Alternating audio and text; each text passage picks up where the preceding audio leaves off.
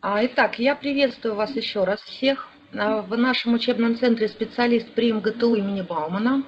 А, на нашем семинаре «Кадровые решения для работодателей в условиях эпидемии». Уважаемые слушатели, отключайте звук, пожалуйста.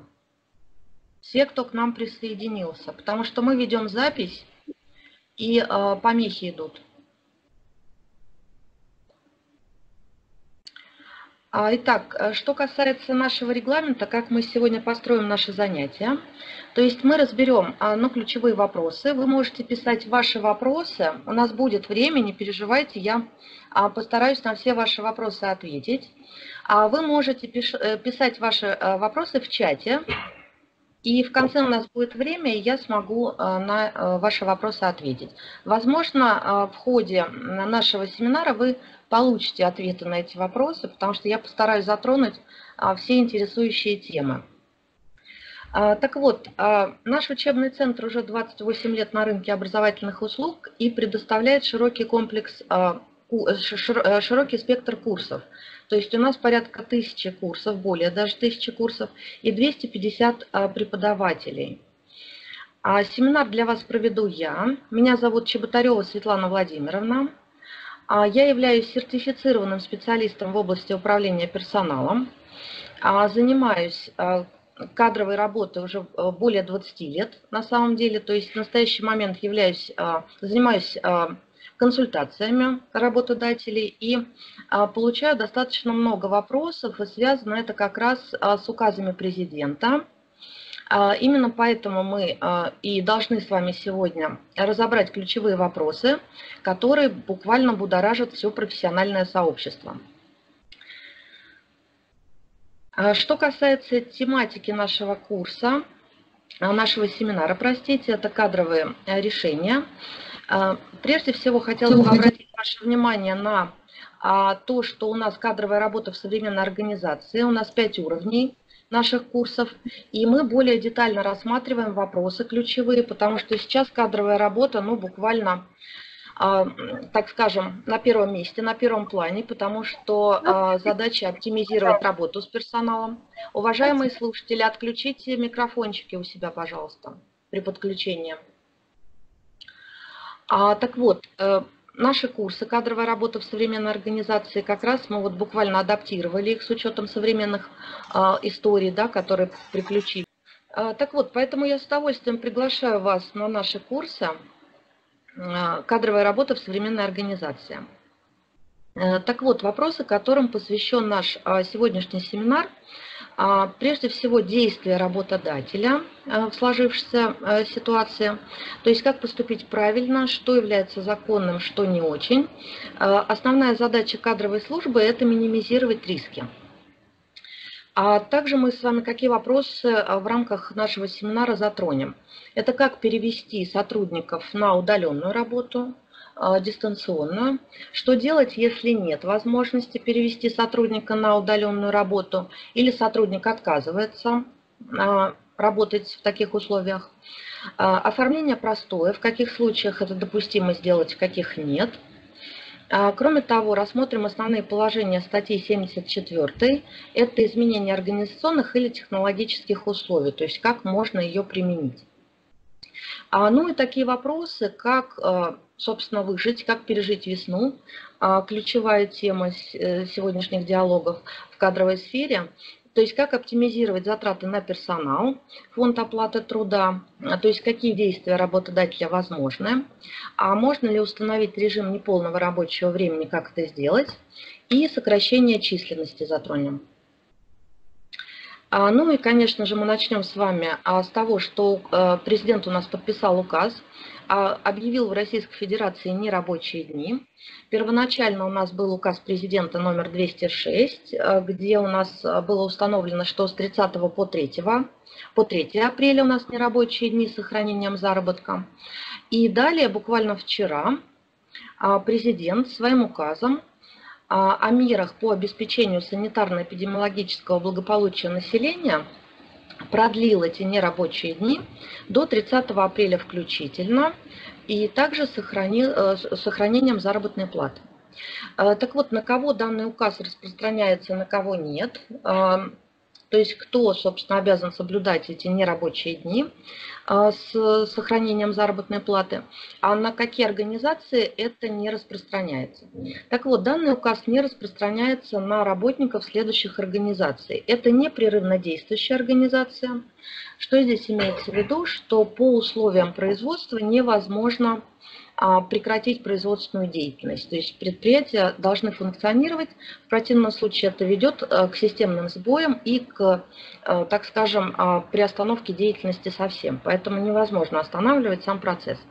Медицинские аптечные организации.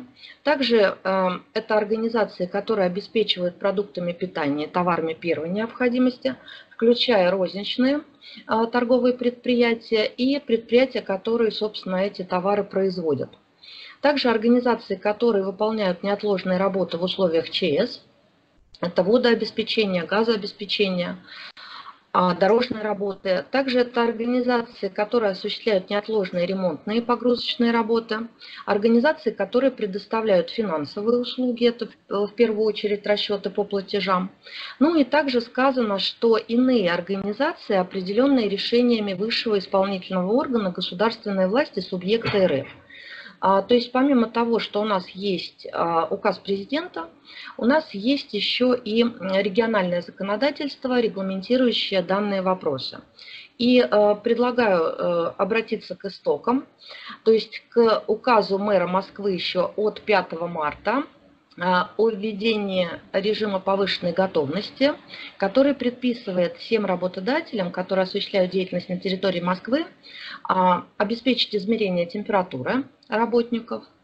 А, кроме того, если у работника повышенная температура, необходимо его своевременно изолировать, то есть отстранить от работы.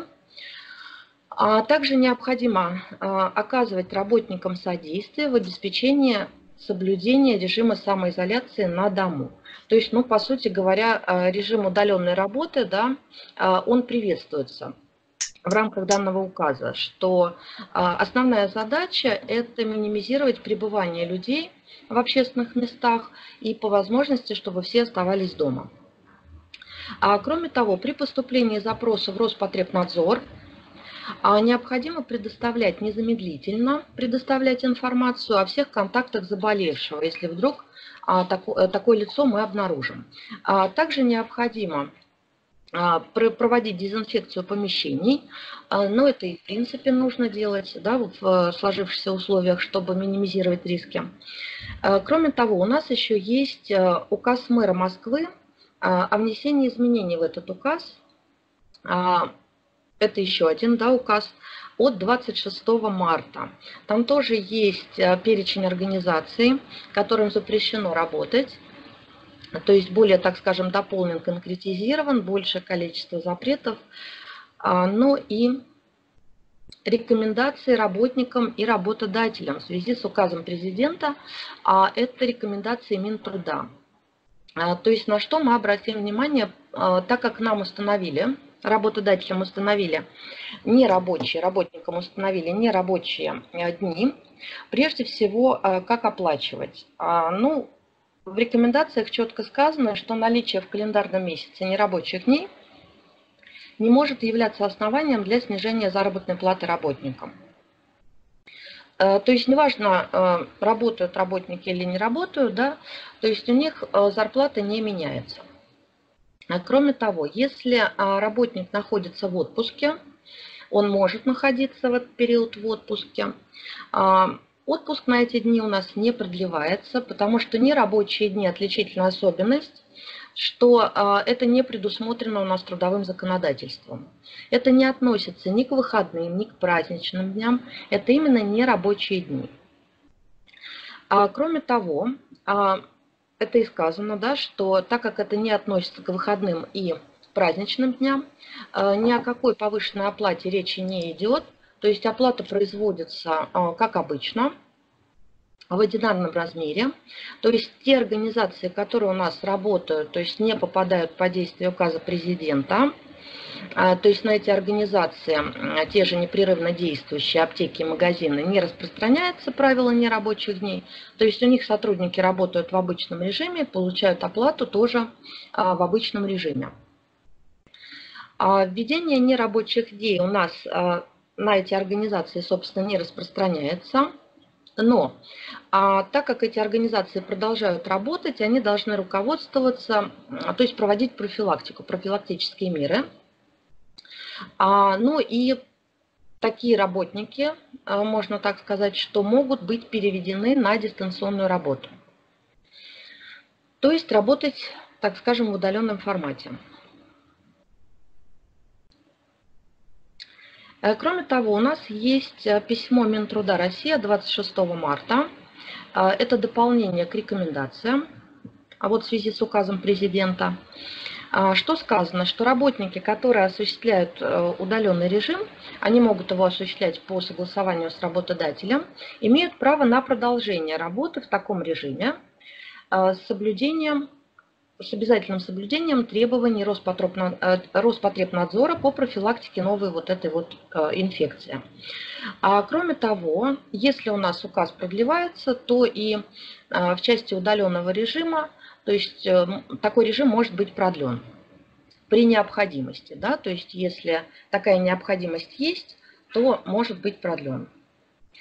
Так вот, что хотелось бы отметить, вот у меня здесь представлено, то есть по сути у нас образовалось три группы э, организаций.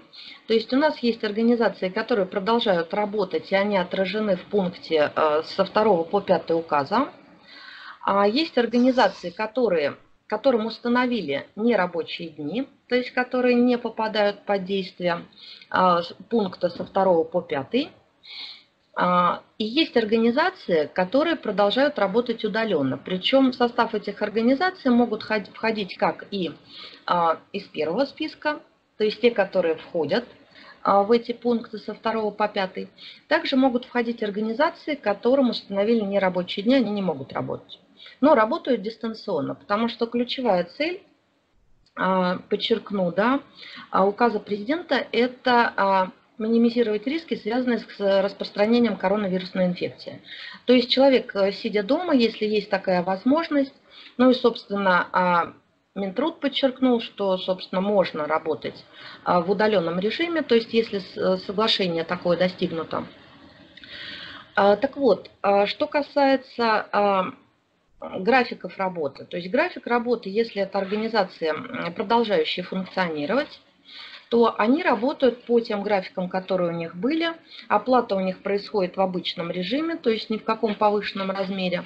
Ну и стабилем учет рабочего времени тоже все понятно, то есть ставим явку, оплачиваем, как, как всегда оплачивали. А что касается организаций, которым установили нерабочие дни, в этом случае у нас должен быть приказ по организациям, где у нас будет ссылка на указ президента и объявление по организации нерабочих дней с сохранением заработной платы. То есть работать, выводить сотрудников а, на работу запрещено. А заработную плату нужно сохранить, то есть по действующим ставкам, которые имеются. И э, вопрос возникает, как, э, как это отражать в табеле. У нас это не выходной день, не рабочий день. Да? Э, в этом случае у нас нет а, нужной кодировки. Поэтому кодировку можно ввести приказом руководителя, вот здесь как пример, а, нерабочий оплачиваемый день, чтобы избежать путаницы, и ввести табель именно таким образом. Нерабочий оплачиваемый день. То есть как вариант можно какую-то свою кодировку использовать. А, что касается вопроса, могут ли организации перевести сотрудников на дистанционную работу, могут. Только при каких условиях? А, только по соглашению сторон, а, потому что меняются условия трудового договора, и возможно это только по соглашению сторон с оформлением дополнительного соглашения. А, если у работодателя такая возможность есть, если данная должность и данный работник может выполнять те же самые функции, но находясь дома, то есть изолированно, соблюдать режим самоизоляции. Ключевая да, задача. А принудительно нельзя. То есть, например, если это организация из последнего списка, то есть та организация, которым установили нерабочие дни, то есть, по идее, они не попадают под а, пункт э, со 2 по 5, а, и сотрудник отказывается работать дистанционно, а мы ничего с ним сделать не можем, то есть мы не можем его не уволить за это, не наказать. Поэтому по табелю у нас э, мы оформляем как нерабочие дни и зарплату за сотрудником сохраняем. Соответственно, с теми, кто согласился работать и может работать, то есть условия позволяют, мы можем заключить дополнительное соглашение и перевести а, на дистанционную, на удаленный режим работы. А, так вот, что нужно сделать а, работодателям, которые продолжают работать? И что важно? Да? Прежде всего, у нас есть указы президента, но в каждом регионе могут быть установлены свои требования, то есть, как буквально сказано в указе, что перечень организаций может также определяться и на уровне субъекта Российской Федерации. То есть те организации, например, которые должны а, продолжать работу. Поэтому наша задача изучить, если у нас а, филиалы представительства в разных регионах, то есть какие требования установлены именно там, они могут отличаться. А также необходимо издать приказ по организации о режима повышенной готовности и разработать локальный нормативный акт, а, потому что э, вот те мероприятия, которые мы собираемся проводить в компании, и они ориентированы на как раз э, снижение рисков по распространению вирусной инфекции, необходимо этот процесс регламентировать. Ну, например, а, процесс измерения температуры, процесс отстранения от работы. То есть, ну вот а, ключевые моменты. Кроме того, необходимо назначить ответственных лиц за все эти мероприятия. И работников с этим локальным нормативным актом а, ознакомить. А что может включать в себя такой локальный нормативный акт? Права и обязанности работодателя в данной ситуации в исполнении указа президента, указа мэра Э, так вот, права и обязанности работодателя, права и обязанности работника в данной ситуации. Ну, например, э, если работник вернулся из стран с неблагополучной обстановкой, он обязан незамедлительно э, об этом сообщить и самоизолироваться. А также необходимо разъяснить термины, то есть что мы подразумеваем под самоизоляцией. Также вот порядок отстранения от работы, например, в случае температуры у работника. А Порядок оплаты также необходимо прояснить. Действия работников, например, вернувшихся из командировки, из стран с неблагоприятной ситуацией. А также должны быть а, должностные лица внутри компании, к которым можно обратиться за разъяснениями, за помощью, то есть ответственные лица должны быть. А также это может быть предусмотрен порядок экстренного информирования работников. Должностные лица в компании которая ответственна за соблюдение отдельных вопросов э, регламента нашего локального акта. Ну, также можно предусмотреть какие-нибудь формы обмена документами в связи с этим. Здесь вот у меня как раз на слайде представлен а, пример приказа, то есть что нужно. То есть ввести режим повышенной готовности. Да? Особенно это касается тех компаний, да, которые продолжают работать и сотрудники которых продолжают присутствовать на местах непосредственно. А кроме того, а, те компании, которые у нас отражены в указе президента со 2 по 5 пункт, могут самостоятельно определять, какое количество работников вывести на работу, то есть по возможности сократить количество работников, частично переведя их в дистанционный режим. А что касается работников, которые не попадают под этот список, но могут работать удаленно, почему бы и нет, по обоюдному согласию тоже могут э, работать то есть режим повышенной готовности в этом случае никто а, не нарушает.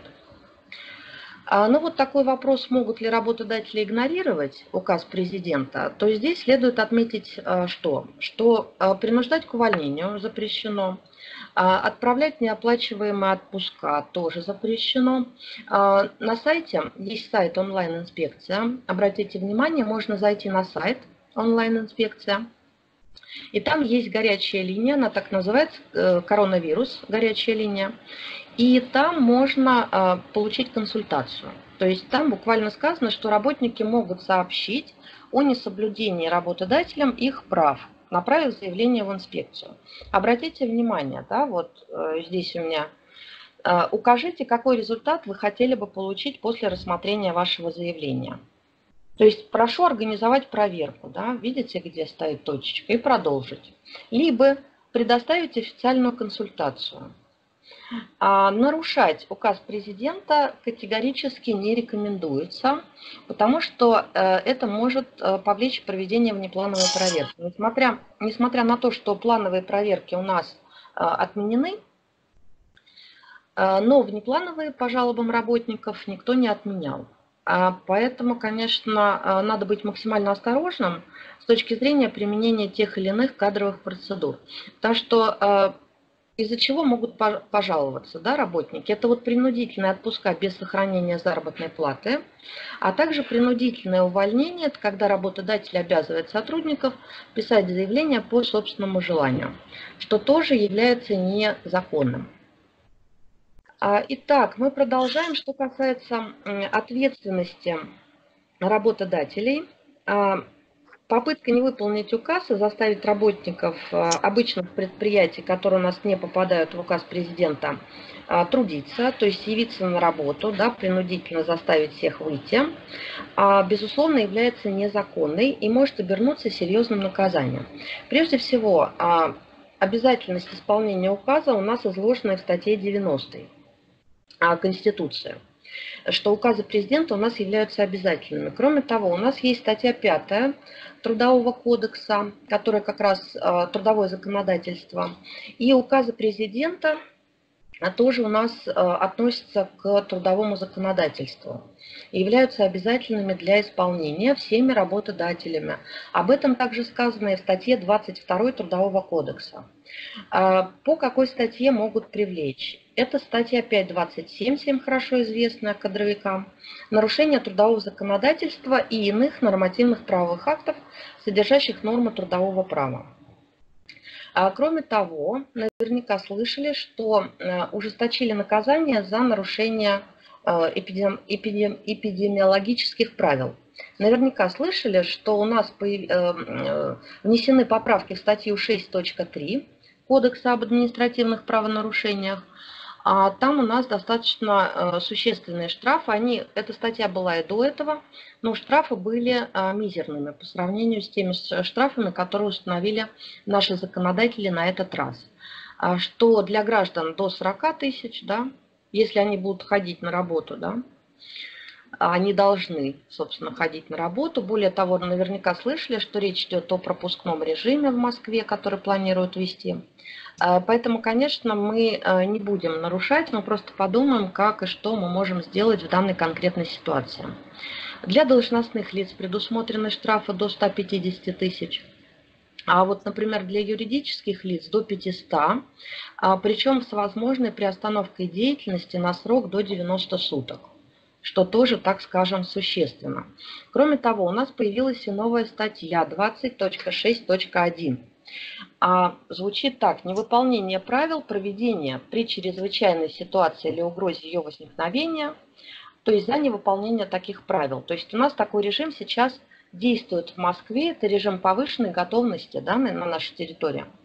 И здесь тоже предусмотрены достаточно существенные штрафы а, на индивидуальных предпринимателей до 50 рублей, а для юридических лиц э, штраф может достигать и 300 тысяч. А если это что-то более серьезное, то есть если действия юридического лица а, повлекли причинение вреда здоровью человека, то здесь может быть штраф до 1 миллиона рублей.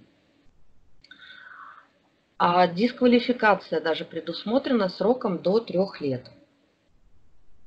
А кроме того, следует отметить и э, статью Уголовного кодекса, это статья 236 Уголовного кодекса, если нарушение норм повлекло массовое заболевание, да, а, либо по неосторожности смерть, э, то есть здесь уже у нас предусмотрено э, лишение свободы. А, то есть срок может быть максимально достигать 7 лет то есть от 2 до 7 лет, а, и штрафы также до 2 миллионов рублей. Поэтому э, обратите внимание, что нарушать точно не стоит, слишком велики риски. А также следует отметить, что э, сотрудники, которые должны самоизолироваться, то есть которые прибыли из неблагополучных стран, они обязаны об этом сообщить, э, должны оформить больничный лист. Больничный лист а, в связи с карантином можно оформить электронный.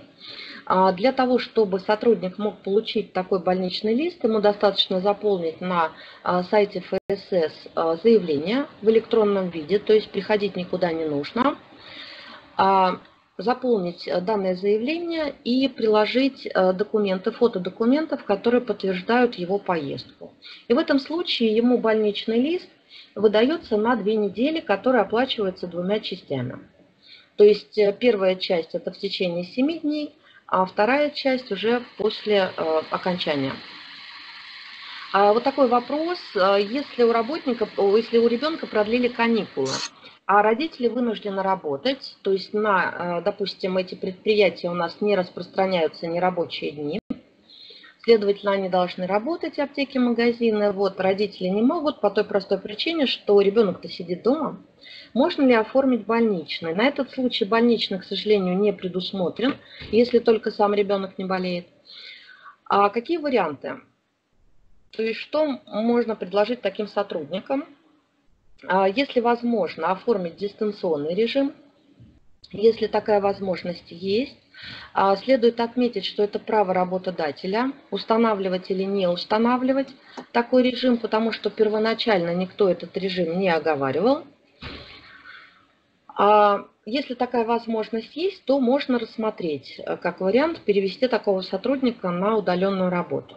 Также сотрудник может написать заявление на установление ему неполного рабочего дня, либо неполной рабочей недели, а, либо, например, уйти в ежегодный оплачиваемый отпуск, либо попросить отпуск без сохранения в связи с тем, что ребенка девать некуда, а право на ежегодный отпуск уже было использовано. Но больничный, к сожалению, в этом случае не предусматривается. А, ну вот э, иногда еще возникают такие вопросы, тоже буквально сегодня да, получила такой вопрос. А, что делать э, в следующей ситуации, если это организация непрерывного цикла работы, то есть они не попадают под действие указа президента, они должны работать, то есть нерабочих дней для них нет, но при этом сотрудники боятся выходить на работу, то есть что делать с такими, которые изъявили желание самоизолироваться? А, ну, мой ответ э, такой, потому что, так скажем, этот вопрос э, никто не предусматривал, к сожалению, ни в одном нормативном документе. То есть могу только поделиться своим мнением, да, предположением, что можно сделать. То есть если работник в условиях э, такой ситуации отказывается работать, я считаю, что у него есть право отказаться, потому что у нас есть указ мэра, а, который призывает, да, э, даже не просто призывает, последний указ мэра, а, что сотрудникам запрещено, не сотрудникам, а вообще гражданам запрещено покидать свои э, места жительства. Да? Есть такое. То есть угроза а, распространения эпидемии, и сотрудники, конечно, могут написать письменный отказ, что они не хотят работать. Что можно сделать с такими сотрудниками? Ну, как всегда, рассматриваем вариант работать удаленно а, то есть можно или нет. Руководствуемся ключевым правилом, не ухудшаем положение работников по сравнению с нормами действующего законодательства. Если вдруг вы решите все-таки проставить им нерабочие дни, тоже, думаю, не будет а, являться нарушением, да, и оплатить, при этом отправить их домой. Но вот мой вариант еще такой, а, что если сотрудник не может работать, точнее не хочет работать, но должен, можно объявить простой по обстоятельствам, не зависящим от воли сторон. А, ну, такой вариант предусмотрен. В этом случае оплата у нас будет 2 трети. Что может являться основанием? Основанием, собственно, сам указ президента, а, где прописано, на какие организации нерабочие дни распространяются, на какие нет. Здесь мы видим, что на нашу организацию эти нерабочие дни не распространяются. Поэтому что можем сделать? А, со ссылкой на данный указ, что нерабочие дни не распространяются. Также у нас есть письменный отказ работать, что человек не готов рисковать своей жизнью и здоровьем. А, объявить простой, то есть вот на время а, вот этой вот ситуации, на, на время этого карантина. С оплатой 2 трети. А кроме того, в ситуации с простоем можно предложить работнику какую-то другую работу. Ну, допустим, его должность в данный конкретный момент не предусматривает возможности работать удаленно. Мы рассматриваем, какой вариант вообще может быть. То есть, может быть, а, предложить какой-то временный перевод а, на ту работу, которая позволяет трудиться дистанционно, удаленно. То есть в каждом конкретном случае отдельно да, нужно рассматривать, то есть какой вариант целесообразнее всего. Но ключевое правило, да, то есть мы не ухудшаем положение работников. А как перевести сотрудников на удаленную работу? Очень хороший вопрос, да, эм, это важный вопрос, потому что если особенности дистанционной работы, включая порядок принятия работника на нее, оформление необходимых документов, организации труда, вот вопросов не вызывают, поскольку они четко прописаны, регламентированы в главе 49.1 Трудового кодекса Российской Федерации то вот специфика оформления перевода уже работающего сотрудника по трудовому договору как раз порождает э, эти самые сложности кадровой службы. И связано это с тем, что трудовой кодекс у нас в принципе не содержит прямых норм, регламентирующих э, этот процесс. То есть именно э, этот процесс именно в период эпидемии. Кроме того, у нас есть понятие дистанционная работа, но нет понятие смешанного режима работы, то есть когда сотрудники у нас работают э, сначала обычно, да, у них график работы с 9 до 6, а потом при учете, что трудовой договор уже заключен с сотрудником, возникает необходимость отправить его работать, например, удаленно. То есть вот как это оформить? Ну, здесь вот прежде всего стоит отметить два э, случая. Два способа, скажем так, перехода на дистанционную работу. Это заключить дополнительное соглашение к трудовому договору с работником, так как условия трудового договора меняются. А где еще у нас сказано по поводу эпидемии? По поводу эпидемии у нас сказано в статье 72.2. А, то есть оформление временного перевода на срок до одного месяца. Э, если первый случай оформления дополнительного соглашения возможен в силу статьи 72, а, потому что 72 статья у нас допускает изменения определенных э, сторонами условий трудового договора. А для реализации такого механизма у нас возможно два условия. То есть условие – это наличие соглашения сторон, то есть по обоюдному согласию. А это соглашение у нас э, заключается в письменной форме. А, кроме того, у нас есть э, Федерация независимых профсоюзов России, и вот они опубликовали на своем сайте разъяснение, где указали, что учитывая, вот буквально, да, сейчас зачитаю, учитывая, что распространение коронавирусной инфекции признали обстоятельством непреодолимой силы, затрагивающим права а, граждан, работник может обратиться к работодателю с заявлением о переводе на удаленную работу – с точки зрения Трудового кодекса дистанционную работу. А, это э, часть 2 статьи 57 и статья 312.1. Опять же, в связи с учетом возможности таковой. То есть, если в принципе возможность удаленной работы для конкретного работника, который занимает определенную должность, возможна. А, в этом случае у нас работник может сам написать заявление а, с просьбой перевести его на удаленный режим. Но подчеркну, что обязать работодателя это сделать работник не может. То есть профсоюзы рекомендуют да, рассматривать такую возможность а, по мере, да, скажем так, возможности переводить сотрудников на удаленный режим работы, но у работодателя просто такой режим может быть и невозможен.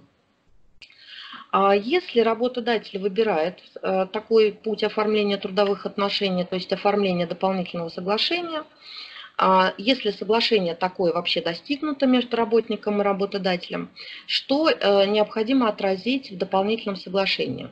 В дополнительном соглашении мы должны с вами отразить, э, что работа для сотрудника является дистанционной, то есть характер работы э, отразить в дополнительном соглашении, и указать сроки. А по поводу сроков, здесь можно сделать ссылку либо на указ президента до 30 числа, да, включительно, а, либо эм, не указывать конкретный срок, но здесь существуют риски. Знаете, если мы не укажем конкретный срок, а вашим сотрудникам понравится работать дистанционно, они скажут, что вообще на работу больше ходить не будут, а будут работать исключительно дома. Поэтому, мне кажется, есть смысл продумать, как указать срок. Либо привязать к указу президента, э, либо к, э, с учетом, так скажем, Э, работодателя. То есть работодатель дополнительно устанавливает данный срок с учетом нормативных э, актов. Э, что еще указать? Это режим труда и отдыха. Режим труда и отдыха. Вот, собственно, в этом-то и заключается сложность. Каким образом формально на дистанционных работников у нас тоже распространяются правила внутреннего трудового распорядка. Но режим вы можете определить самостоятельно, согласовав с работником. Это может быть тот же режим с 9 до 6, да, а либо можете установить какой-то гибкий график работы. Обратите внимание, если мы устанавливаем в дополнительном соглашении тот же объем трудовых функций и э, тот же график работы, по сути, то в этом случае э, уменьшить оплату труда таких работников мы не можем. В ситуации, если дистанционная работа предполагает уменьшение э, норм труда, уменьшение времени труда, потому что это может быть.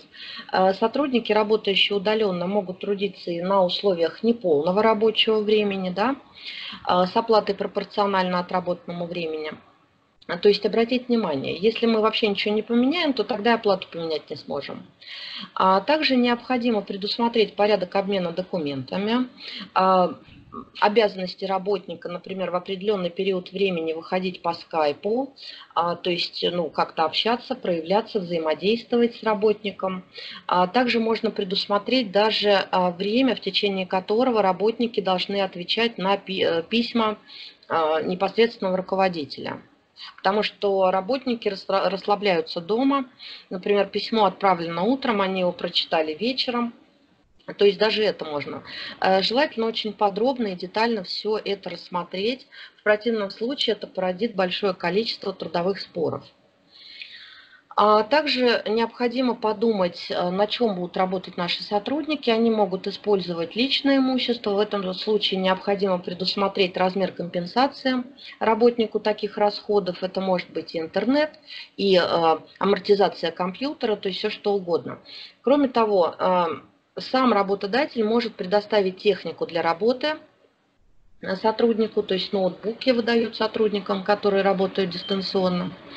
А вот все это необходимо регламентировать. Также не забыть про то, что условия труда должны быть безопасными, э, прописываем. А также необходимо продумать форму контроля. То есть каким образом да, вот будете э, контролировать. То есть периодичность, то есть когда выходить на связь, а, когда предоставлять отчеты, по какой форме, вот все это указываем. Что касается э, перевода на дистанционную работу, то есть порядок действий при переводе на дистанционную работу. Э, прежде всего, любая кадровая процедура у нас предусматривает процесс документального оформления. Что мы должны сделать? Мы можем взять заявление у сотрудника. То есть наша задача соблюсти определенный порядок, то есть правильно оформить. А, работодатель может сам предложить, а, инициатором может выступить и работодатель, предложить перейти работать дистанционно. Также сотрудник может написать заявление, можно в конце концов устно озвучить эту инициативу. Главное, чтобы а, ну, стороны достигли соглашения, оформили это дополнительное соглашение к трудовому договору, где все вышеперечисленные нюансы а, отразили.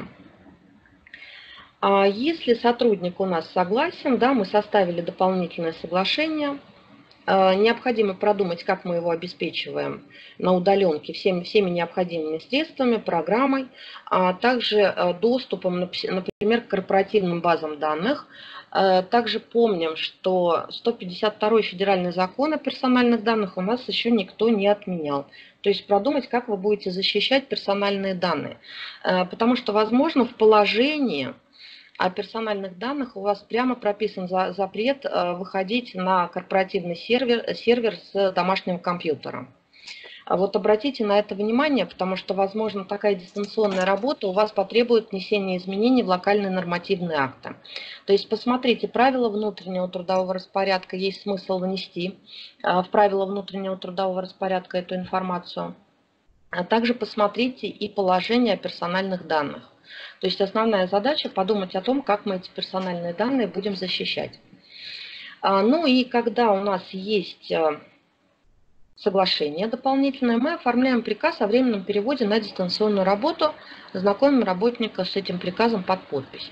Также вот еще раз здесь указала письмо Минтруда, где сказано, что в период действия указа изменения в части перехода на удаленный режим работы могут оформляться путем обмена электронными образами документов – Обратите внимание, если дистанционная работа предполагает наличие электронной подписи, если вы, у вас уже был такой опыт, вы работали удаленно, или сотрудники есть, э, которые у вас работают удаленно, сейчас очень много организаций, которые э, работают в подобном э, режиме, возможно, уже есть электронная цифровая подпись, но не у всех она есть. Поэтому скажем так, что это полуэлектронные документы. В чем они заключаются? То есть мы отсылаем дополнительное соглашение по электронной почте. То есть сотрудник нам присылает по электронной почте заявление подписанное. Прошу меня перевести на дистанционную работу с 1 апреля, к примеру. Да? Мы оформляем дополнительное соглашение, отправляем работнику по электронной почте, он нам его подписывает, скан документа отправляет. А потому что что сказано в письме Минтруда? С последующим их оформлением в установленном порядке. То есть сейчас обходимся таким образом, как есть, да, а в дальнейшем мы это с вами оформим. Ну и далее мы фиксируем в табеле количество отработанных часов э, сотрудникам. То есть здесь у нас э, речь идет о работе. А можете даже для этой ситуации тоже предусмотреть э, отдельный код э, в табеле. А приказ, пример, у меня здесь образец, то есть как можно это сделать, то есть в связи с необходимостью самоизоляции. Приказываю перевести, к примеру, менеджера Птичкина на дистанционную работу в такой-то период, и основание у нас дополнительное соглашение к трудовому договору. Главное ознакомить работника с этим приказом. Тоже можно пока на данном этапе э, путем обмена сканов. Если это было до э, первоначального указа президента, многие успели это оформить. И все приказы есть, и сотрудников перевели на дистанционную работу, сейчас спокойно работают. А кто, конечно, такого развития событий не ожидал, что у нас каникулы продлят в кавычках, да, это не каникулы, это не рабочие дни, продлят до конца апреля. Кто этого не ожидал, конечно, сейчас буквально паника, потому что никто не знает, что делать. А для начала успокоиться, да, и вот подумать, что мы в конкретной ситуации можем сделать. То есть рассмотреть возможность удаленной работы, если можно. А, ну вот вопрос касательно применения статьи 74 это изменение организационных, изменение условий трудового договора в связи с э, организационными или технологическими условиями. А если работник не согласен переходить на удаленку, вот можно ли, э, такой вопрос был, можно ли э, руководствоваться положением именно 74 статьи. Потому что что сказано в 74 статье? В случае, когда по причинам, связанным с изменением организационных или технологических условий труда, изменения в технике, далее перечислено, здесь указано другие причины. Обратите внимание, что у нас а, режима самоизоляции в ТК не предусмотрено. Можно ли этот режим самоизоляции рассматривать в качестве других причин? Ну, вот скажите мне, что нет. Да? Ну а почему нельзя-то? Если действительно таким образом складывается ситуация, что мы можем работать для того, чтобы сохранить бизнес, можем работать только исключительно удаленно. А делать, конечно, я вам это не особо рекомендую. По какой причине? А, использовать положение 74 статьи мы можем в каком случае? Мы должны уведомить работника за два месяца до вступления этих изменений в силу. Какой смысл сейчас это делать, а если у нас а, до 30 апреля мы сидим дома, да? То есть какой смысл сейчас это затеять, если нам это только можно будет сделать в июне месяце? То есть просто даже не а, целесообразно. Потому что мы, конечно, можем направить уведомление. А если сотрудник отказывается, э, сложно даже представить, как мы будем составлять сейчас в условиях, если мы сидим дома, даже если работаем дистанционно.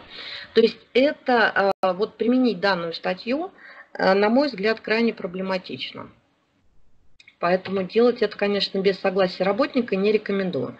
Также обратите внимание, что если эта организация а, которая не попадает а, под пункт со 2 по 5, то есть они должны работать, да, следовательно, они работают.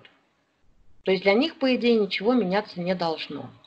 А если это организация, э, ресторан, да, а если это магазин одежды, в конце концов, или салон парикмахерская, в этом случае они не могут работать, на них распространяются нерабочие дни.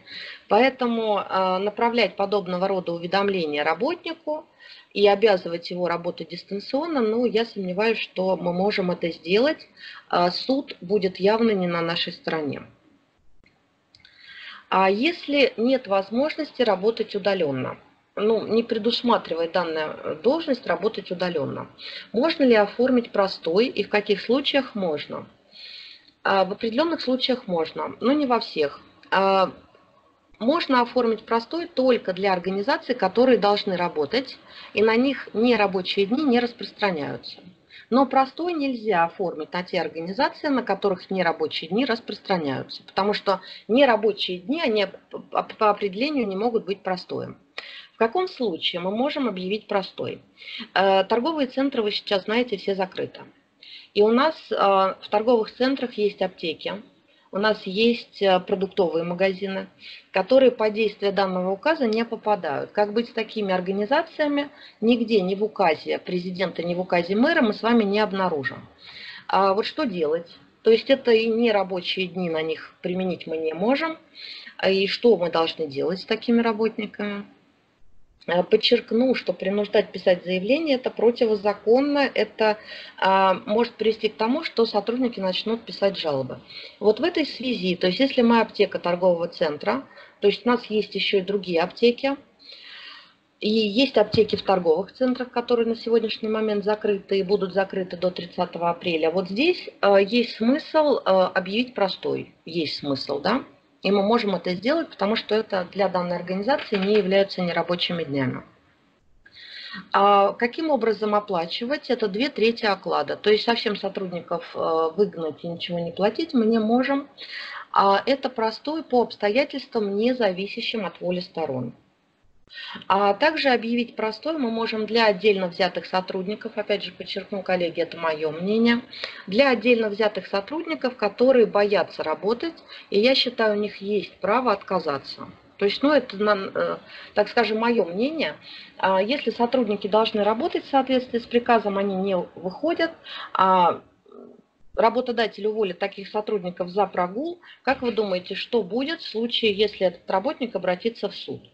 Ну вот я процентов на 90 уверена, что суд примет сторону работника. Поэтому, на мой взгляд, а, мы должны что-то придумать, так скажем, не ухудшающее положение работника по сравнению с действующими нормами законодательства. Это, опять же, а, мое мнение. А, поэтому мы можем составить приложение да, тех работников, которые письменно написали нам, я такой-то, такой-то, отказываюсь в связи с тем-то и тем-то, у меня есть право в соответствии с указом мэра не работать, и я хочу самоизолироваться. А работать дистанционно такие работники не могут, Поэтому вот это единственный вариант, когда мы можем это применить. Что еще? Вернемся к нашей аптеке торгового центра. А, у нас есть еще статья 72.2. Это временный перевод на другую работу.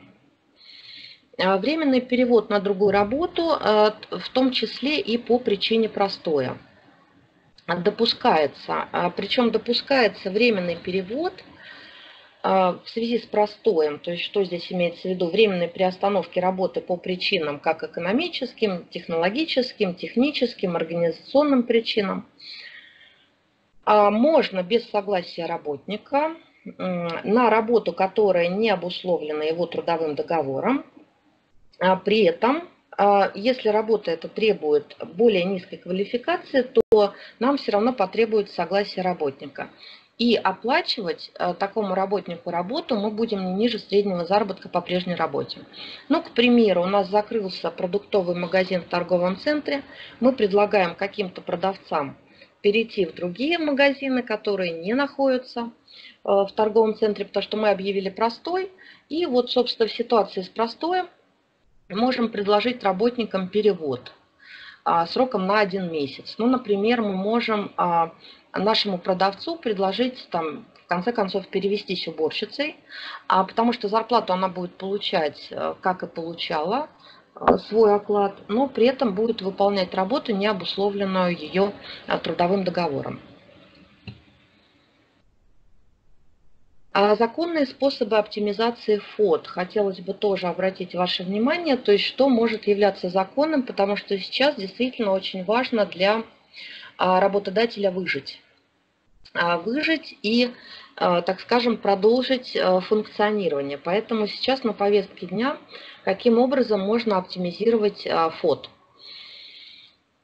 С чего следует начать? Начать следует с изучения имеющихся локальных актов, регламентирующих оплату труда в организации. То есть посмотреть, как у нас формируется фиксированная часть оклады, как у нас формируется стимулирующая часть.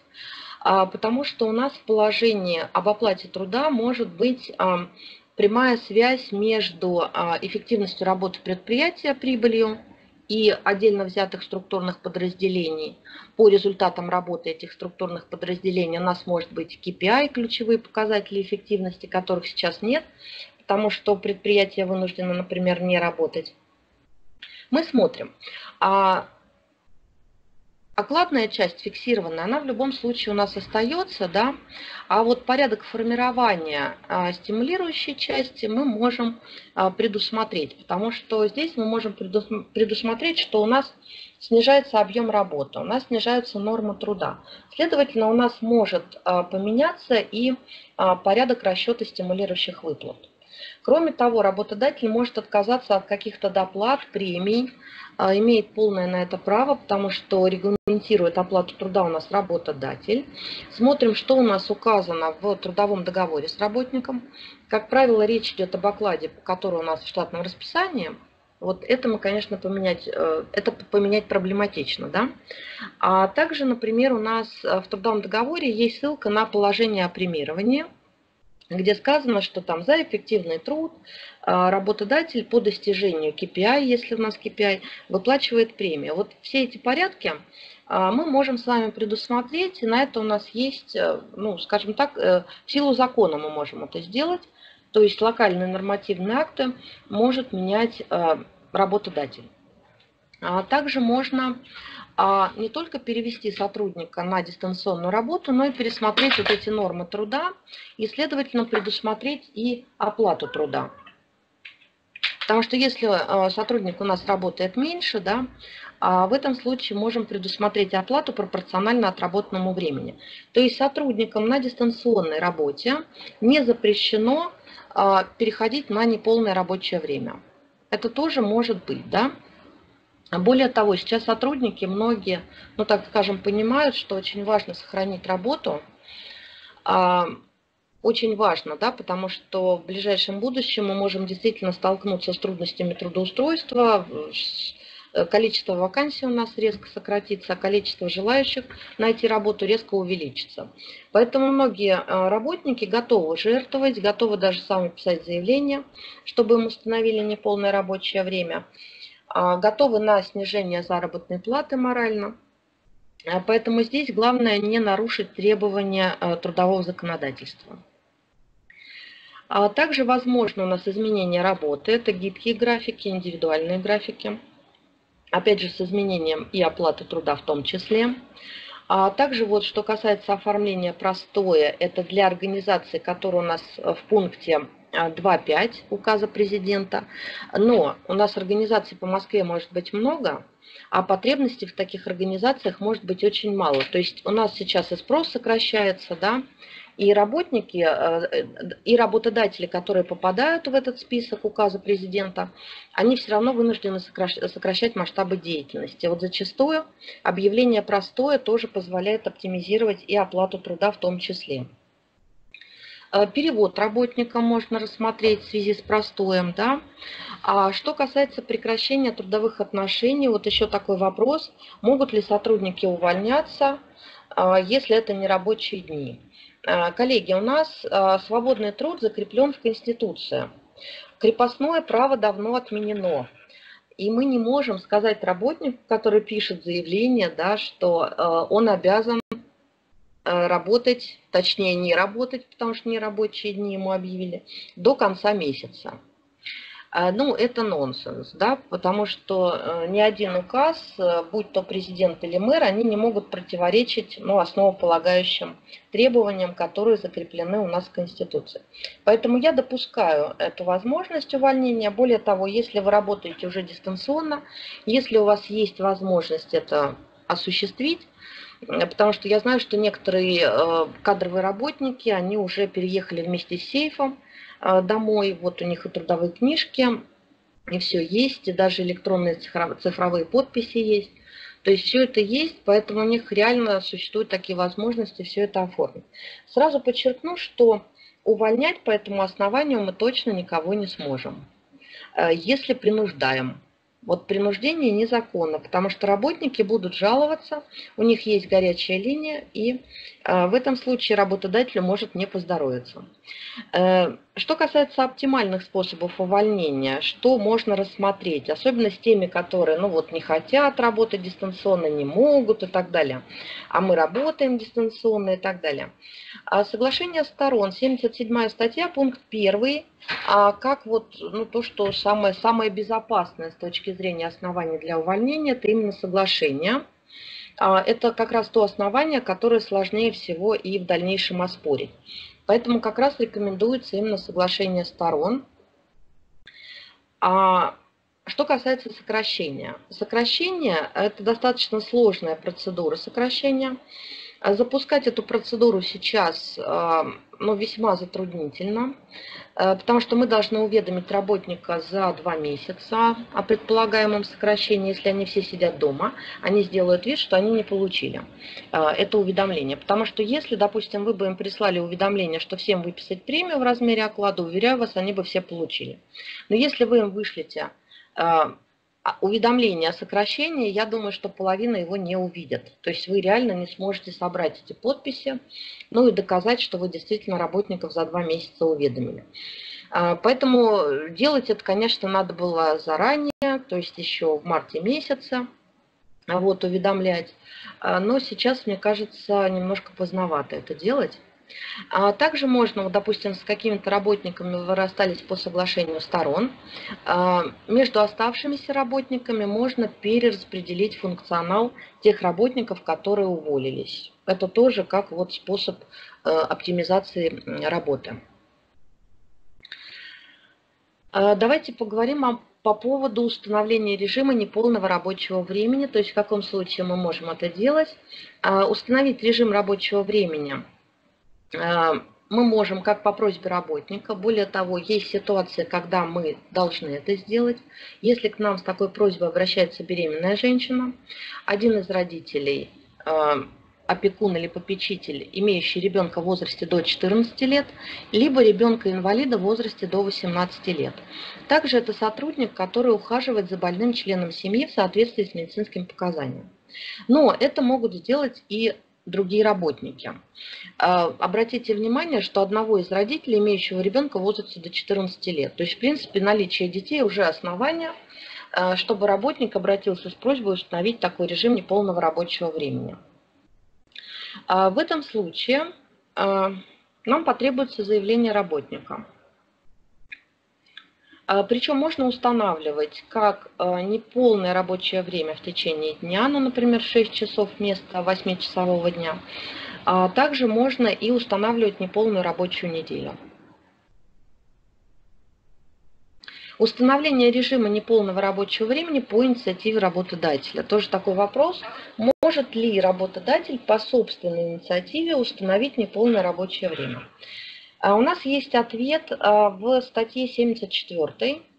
В случае, когда причины, указанные в части 1, это вот организационные, технологические изменения, технические и так далее. Причины в 74 указаны именно этим. Могут повлечь за собой массовое увольнение работников, Работодатель в целях сохранения рабочих мест имеет право с учетом мнения выборного органа профсоюзной организации вводить режим неполного рабочего дня или неполной рабочей недели на сроком до 6 месяцев. То есть 74 статья предусматривает возможность установления неполного рабочего времени по инициативе работодателя. А что для этого требуется? А, для этого требуется, то есть издаем приказ, знакомим работников, уведомляем их об этом.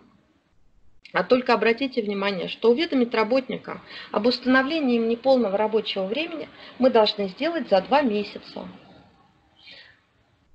А, за два месяца предупредить работников, что у них будет неполное рабочее время. Согласитесь, а, в нынешней ситуации, когда мы вот сейчас вынуждены сидеть дома, это тоже не а, особо, скажем так, актуально. А, если работник отказывается, э, точнее отказывается переходить на неполную занятость, то есть отказывается на установление ему неполного рабочего времени, в этом случае мы должны его уволить а, по, а, в связи с сокращением. Это статья 2, ой, пункт 2 части 1 статьи 81. То есть при этом ему необходимо будет предоставить все имеющиеся гарантии. А, кроме того,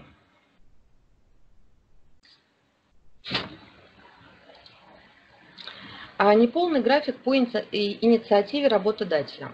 Мы уведомляем сотрудников, то есть делаем это за два месяца до введения этого режима в действие. И далее, если сотрудники отказываются, в этом случае мы должны будем их уволить э, в связи с сокращением численности. Кроме того, а, если мы э, вводим режим по, такой режим по инициативе работодателя, то мы также должны будем еще уведомить и службу занятости, потому что, возможно, последует у нас увольнение по сокращению. А, то есть таким образом, если мы говорим про неполное рабочее время по инициативе работника, по инициативе работодателя. А, это возможно, во-первых, по соглашению между сотрудником и работодателем, но это может быть, опять же, трудное финансовое положение. А, потому что, обратите внимание, если сотрудниками будет доказано, что режим неполного рабочего времени введен в отсутствие существенных изменений труда, то в этом случае действия администрации суд может признать незаконными. Это следует из постановления Пленума Верховного Суда номер 2. Поэтому у нас действительно должны быть веские причины, чтобы вводить по инициативе администрации такой режим. А если э, это беременная женщина, она имеет право, мы ей отказать э, не можем. А если наличие детей, тоже могут э, обратиться самостоятельно устанавливаем. Но если мы устанавливаем по инициативе организации, то, во-первых, у нас действительно должны быть существенные изменения, которые могут повлечь массовое увольнение, и мы таким образом заботимся о работниках и создаем им дополнительные условия, чтобы они могли все-таки сохранить работу. А, что касается срока, то есть срок у нас, если это инициатива работника, то устанавливается по соглашению сторон. Если это инициатива работодателя, то у нас а, максимальный срок а, это 6 месяцев то есть только до 6 месяцев. А более того, если это инициатива администрации, мы обязаны уведомить службу занятости. Это согласно федеральному закону о занятости 1032-1, потому что такие действия а, работодатель проводит исключительно с целью сохранения рабочих мест. А законодательство, кстати, не содержит ограничений на повторный ввод таких мер. То есть можно там на месяц вести, потом еще вести. Но обратите внимание, а, если обстоятельства повлекли изменение условий труда вновь, организация вправе да, такие меры возобновить в общем порядке. Но опять же, да, за два месяца мы должны уведомить. То есть мы установили на два месяца, два месяца прошло. А, ну, например, у нас режим неполного рабочего времени был введен на 4 месяца с февраля, с 1 февраля. Вот ввести вновь такой режим мы сможем не ранее 2 августа, потому что прошли 4 месяца, мы опять работников уведомили а, за 2 месяца, да. То есть э, устанавливать подряд несколько раз можно, ограничений нет, но вот это вот требование необходимо а, соблюдать.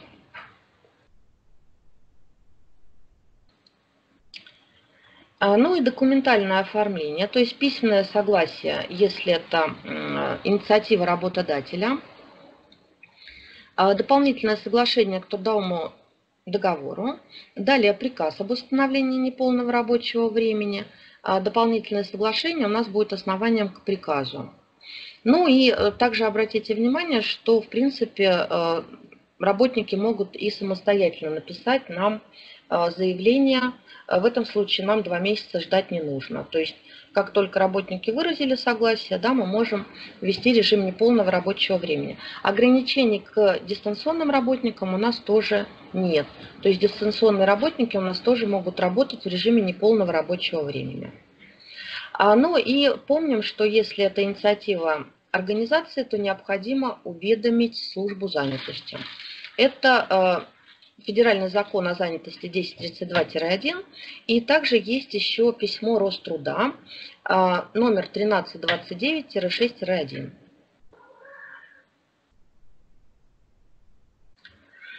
Что касается сокращения численности а, или штата, тоже вот очень важный вопрос, да, который необходимо осветить. То есть мы сейчас попробуем это сделать оперативно, да, потому что у нас еще должно быть с вами время на то, чтобы я смогла а, ответить на ваши вопросы.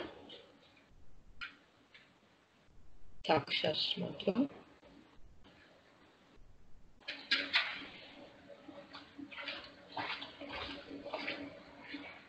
Есть ли у нас тут что-нибудь на всякий случай? Так, да, я вижу, вопросы уже поступают, поэтому я просто смотрю масштаб вопросов, сколько времени. Э, так, угу. Все, я вижу, вопросы достаточно интересные, сейчас мы к ним вернемся. Что касается сокращения, затронув вскользь, а, потому что у нас будет, мы сейчас достаточно много проводим семинаров, и а, у нас будет еще семинар, я буду проводить, э, связанный как раз с сокращением, то есть та тема, которая сейчас всех будет волновать, потому что действительно работодатели испытывают трудности. А, в общих чертах расторжение трудового договора в связи с сокращением численности штата предусмотрено у нас пунктом 2 части 1 статьи 81 Трудового кодекса. А, это как мера да, по сохранению организации, то есть это когда, а, собственно, других а, вариантов для компании ну, просто никаких нет. Вот, а выживать как-то надо, поэтому вот может быть такое предусмотрено. Э, порядок действий. Здесь вот совсем кратко. То есть мы определить должны сначала, будет ли наше сокращение являться массовым или нет. Что касается критерий массовости, сказано, что э, ну вот согласно статье 82, это 82 статья Трудового кодекса, где сказано, что это у нас определяется э, отраслевыми соглашениями. Так, то есть в отраслевых соглашениях для предприятий в рамках отдельной отрасли это может быть предусмотрено. А, кроме того, э, на что еще можно обратить внимание, это постановление правительства номер 99. А, вот сокращение будет расцениваться как массовое в случае, если численность работников уменьшается на 50 и более человек в течение месяца. Ну, это вот как один из э, вариантов. То есть в каждом конкретном случае нужно будет это э, определять. А планирование процедуры сокращения. То есть необходимо, если мы хотим правильно это сделать, собрать комиссию, потому что мы должны руководствоваться, у нас есть преимущественное право работника оставаться, а, то есть мы преимущественное право работника должны учесть. Вот как раз комиссия собирается а, для того, чтобы составить а, список сотрудников, которые подлежат сокращению. Далее уведомление службы занятости Уведомить мы должны за два месяца. Если это массовое увольнение, то за три месяца. Сотрудников мы уведомляем о предстоящем сокращении за два месяца.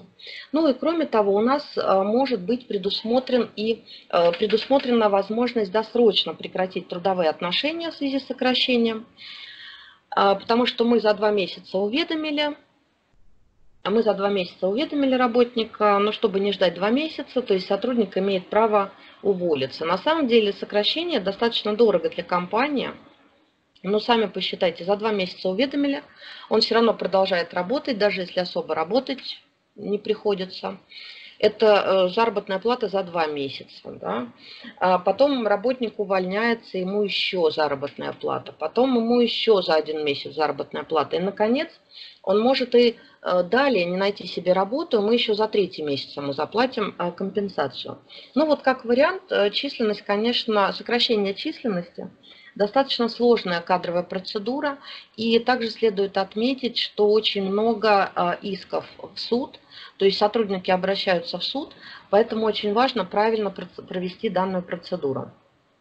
Так вот, чтобы не ждать два месяца, сотрудник может уволиться и ранее, но со всеми причитающимися ему выплатами. То есть работодатель ему оплачивает заработную плату до окончания срока истечения предупреждения об увольнении. Ну и плюс все остальные выплаты.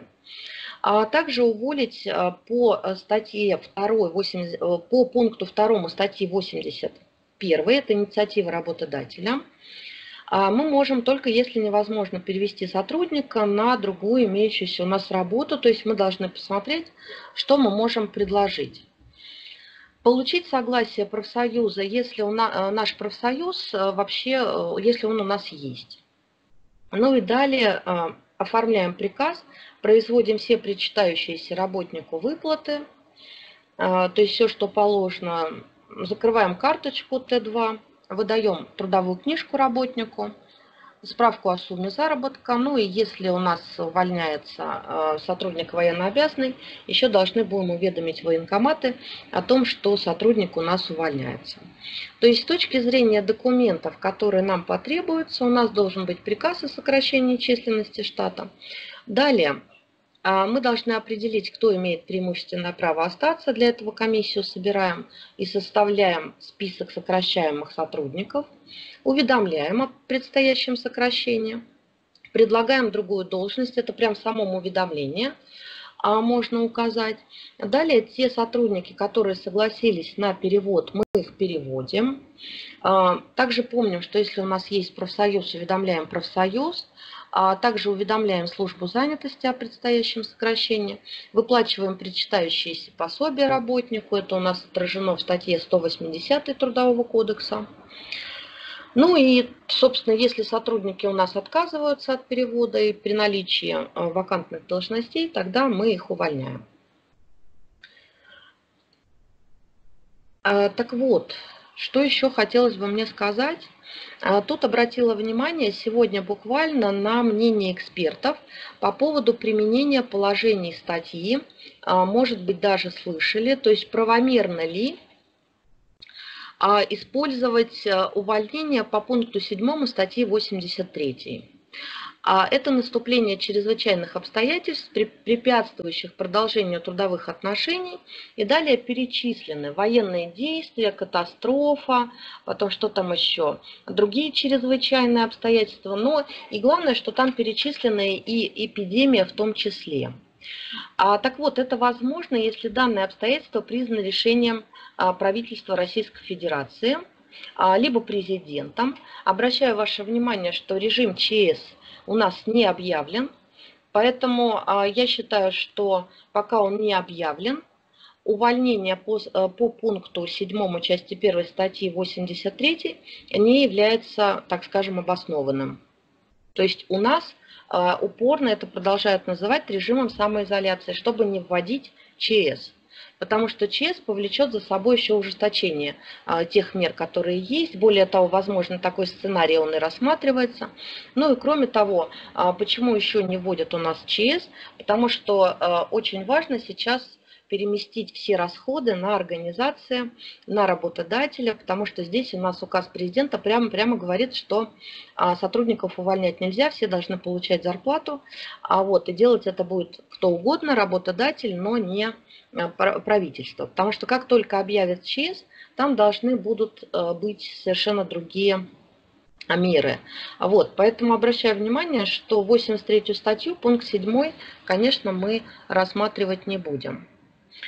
А, так, теперь, что касается... Также хочу пригласить вас напоследок, перед тем, как приступить к вашим вопросам, Хочу пригласить вас на наши курсы. Опять же, если интересует управление а, удаленное управление сотрудниками. Это сейчас нововведение, мы сейчас все должны адаптироваться к этим новым условиям. Обращаю ваше внимание, что а, это, мир уже не станет прежним, то есть э, как мы уже сейчас можем это рассматривать, как было раньше. Поэтому удаленная работа, она будет. И вот у нас стартует курс 6 апреля, поэтому приглашаю вас на наш курс. Ну и также везде, где мы рассматриваем процессы оформления трудовых отношений, перевода, все нюансы. Это вот 5 уровней кадровой работы. И кадровая работа у нас э, вот стартует 0,4, это буквально завтра, это первый уровень. Также вот у меня завтра внутренний аудит кадровых документов, тоже особое внимание будем уделять а, именно процессу, так скажем, анализа документов и в каких документах, будь то положение по оплате труда, как это можно изменить, какие корректировки внести, также и а, правила внутреннего трудового распорядка, ну и вообще отдельные документы будем рассматривать, посвященные именно дистанционной работе в новых условиях. Ну и также приходите на наш практикум по, по кадровому учету, это пятый уровень.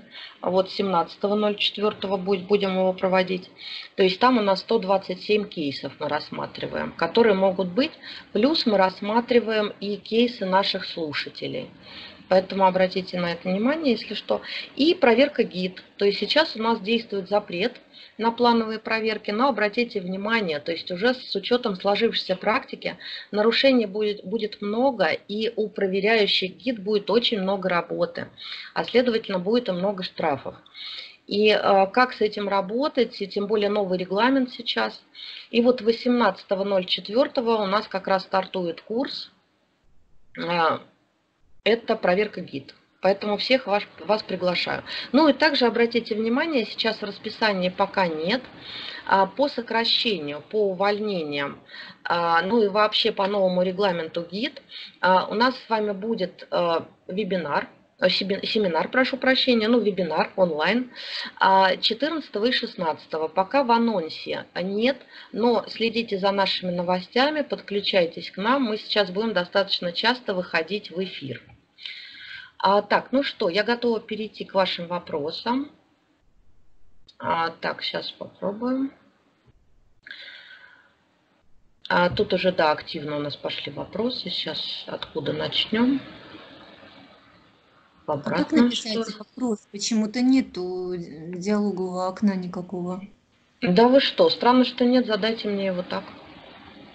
Ну вот хотела узнать, э, если сотрудники работают по графику 2 через 2, а в трудовом да. договоре прописана оплата по дневной тарифной ставке. То так. есть мы в апреле, как мы им должны, мы им в табеле проставляем э, какой-то вот код, как вы говорите, вводим, допустим, нерабочий оплачиваемый день, да? Да, и, абсолютно точно. И проставляем Смотрите. в табель. Угу. Э, смотрите, я поняла ваш вопрос, я просто уже очень много раз на него отвечала. Для ваших сотрудников ничего не меняется. Только они у вас сидят дома и в табеле, вот, это в те дни, которые они должны работать, вы им будете ставить новый код, типа нот. Угу. А в остальные дни вы будете ставить им выходные дни. Вот угу. и все, потому что э, все в соответствии с графиком. А, то есть ваша задача, то есть мы не сокращаем, представьте, что как будто бы ваши работники у вас работают. Угу. То есть все то же самое. Поняла. А вот еще очень много пишут, что а, в связи с тем, что внесены изменения в производственный календарь, ну вот в марте, получается, на два дня уменьшились, соответственно, норма уменьшилась. И вот uh-huh. очень много в интернете пишут, что те, кто выходят, допустим, а, на дистанционном на дистанционную работу, что эти часы необходимо оплачивать как сверхурочные. Нет, конечно, такой команды нет, потому что в разъяснениях Минтруда мы четко видим, что это не относится ни к выходным, ни к праздничным дням. Поэтому если сотрудники работают, особенно те сотрудники, которые у нас, собственно, в указе президента отражены со 2 по 5 пункт, то есть для них по оплате ничего не меняется. Угу. Спасибо вам большое, очень интересный угу. курс, очень полезный. Приходите к нам, да, так что еще Спасибо. пообщаемся. А, так, вижу вопрос э, Марии. Нет никаких э, допустимых вариантов работы в офисе с помощью дежурств и так далее. А, так, у нас несколько бухгалтеров все равно приходят в отпуск, правда, не на общественном, а на корпоративном такси. А, Мария, а, я четко могу сказать, что это нарушение указа президента, потому что ваша организация, если ваша организация не попадает под действие указа. А, то есть, э, привлекая сотрудников, боже упаси, не дай бог с ними что-то случится, я вам привела пример по поводу ужесточения э, ответственности работодателей. Рекомендую ваших бухгалтеров перевести на дистанционный режим работы работа. Это вот э, мой ответ такой. А если привлекаете, то берете на себя ну, вот определенные, так скажем, риски. Светлана, а, я, не смогла, да. я не смогла написать вопрос, а, а можете мне вот ответить? Если Давай. сотрудники работают по внебюджетному а, штатному расписанию, то есть они оказывают услугу, и, соответственно, по положению о платных услугах получают э, деньги. А вот сейчас, вот в этой ситуации, когда они вынуждены сидеть дома и не работать, как с ними быть? Они же, получается, без средств к существованию?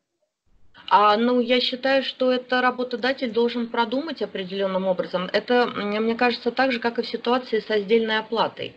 То есть здесь надо посмотреть, у вас вообще как-то это отражено. Вот если вы не можете их обеспечить платными заказами, а у вас какой-то минимум в локальных актах прописан, Точно так же, как сдельная оплата, потому что сотрудник получает ровно столько, сколько он сделал. Если он сидит дома, как ему оплачивать?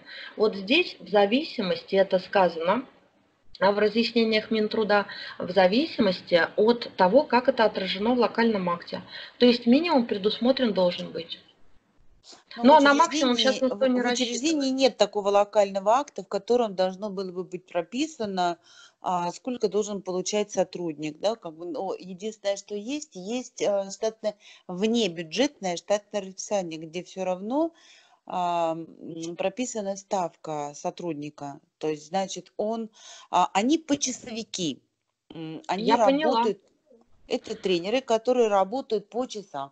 То есть вот если у человека на ставку 18 академических часов в неделю, то есть он согласно своей нагрузке, даже сидя дома, все равно, а, пусть извне бюджета, но тем не менее должен получать зарплату. А значит, смотрите, тогда э, ставим нерабочие дни, как будто бы он у вас работает и оплачиваем в соответствии с тарифными ставками почасовыми, которые у вас предусмотрены. То есть Я такой поняла. вариант. Я поняла, спасибо большое. Потому что для, на них распространяются нерабочие дни, понимаете, в чем дело? Следовательно, работают они или не работают, за ними мы должны сохранить их оплату. И а если, а, а если у работодателя это нигде не прописано, ни в его трудовом договоре, нигде, то это нарушение работодателя? А, ну, в принципе, да, потому что мы должны обеспечить определенный минимум по оплате труда, потому что требования статьи 133 а, Трудового кодекса и 133.1 у нас никто не отменял. То есть минимальный размер у работника должен быть оплата труда. А на случай, если нет заказов, то и работодатель должен каким-то образом а, не лишить работника средств к существованию. А вот как раз для вас это повод задуматься, посмотреть, какие изменения можно внести, что прописать. Но на сегодняшний момент, если ничего не прописано, то я считаю, что не нарушая указ, вы должны сохранить оплату на этот месяц за работниками. Я поняла. И еще один вопрос. А, работал человек, а, у него был срочный трудовой договор. Договор с ним не продлили ну, закончился срок договора, договор не продлили. Соответственно, так. сотрудник был уволен. Этот сотрудник, а, в свою очередь, а, обратился в службу занятости, но не успел получить статус безработного. На сегодняшний день как вообще этому сотруднику? А вы знаете, на сайте службы занятости очень подробное разъяснение. Обратите внимание на это. А сейчас там даже предусмотрено, вы слышали, да, что 19 500 там это указано, в Москве как получить. у нас область. Э, а, вы не... это... а Химки, не в Москве. Да. Ну, Химки там 15 тысяч, по Воробьев определил. А, а ну у вас тоже, тысяч. да, есть. А угу. тогда не могу понять, чем, за, чем загвоздка. Ну, вот То есть надо идти... не оформляет, служба занятости не оформляет, э, а, соответственно, не присваивает статус безработного, соответственно, без А на каком человек... основании? Не На каком основании? Ну, они точно так же не работают. Так они в электронном виде заявление принимают. Должны принимать. Это очень странно на самом деле. Очень странно. Меня прям даже это... Я прям даже разберусь с этим вопросом. Мне интересно. Ну, химки, химки это вообще отдельное государство. А, потому что сейчас мы можем получать электронные услуги через МФЦ, да как угодно, да. Даже больничный вот без личного присутствия оформляется. Неужели процесс постановки на учет а, в Московской области у нас так затруднителен? То есть есть повод, э, ну так скажем... Я не могу брать... сказать обо всей Московской области, э, как бы очень, очень не хочу даже говорить этого, да, как бы uh-huh. не хочу затрагивать всю Московскую область. Вот Химки это очень сложный город. Тут вообще просто, ну, как государство в государстве сплошные беззакония. Все, ну вот если к следующим вопросам. Да, давайте перейдем тогда к следующему вопросу. Спасибо вот большое. Я тут... Да, пожалуйста, спасибо. Вот, вот вопрос еще у нас есть. Можно ли уволить сотрудника по пункту 7 статьи 83 в связи с наступлением чрезвычайных обстоятельств, препятствующих, какие обстоятельства наступили и препятствуют а, продолжению трудовых отношений? Здесь сказано в ситуации чрезвычайно. У нас ЧС объявили? Не объявили. Вот как объявят, тогда можно. Вот пока ЧС у нас не объявили, у нас режим самоизоляции, а, обращаю на это ваше внимание, пока не объявили, применять а, пункт 7 статьи 83 не можем. А, так, на каком основании применять простой после, сейчас, секунду, простой после указа президента. А, я вам только что рассказала, что, например, у нас аптека в торговом центре, а торговый центр закрыли. А, на аптеку у нас нерабочие дни не распространяются. Что делать с этой аптекой?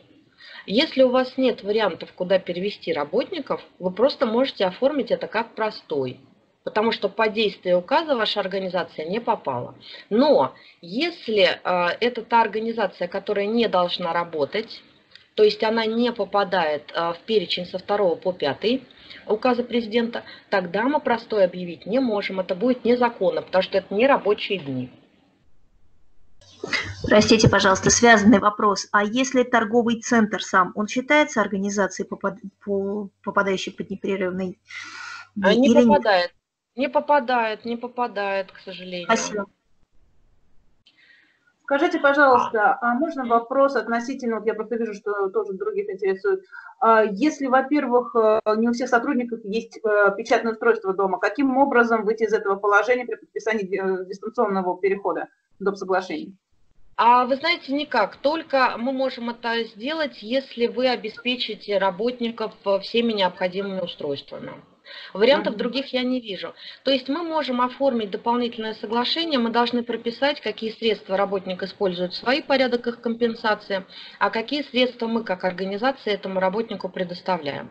Если у работника чего-то нет, ну, значит, у него нет возможности а, трудиться дистанционно.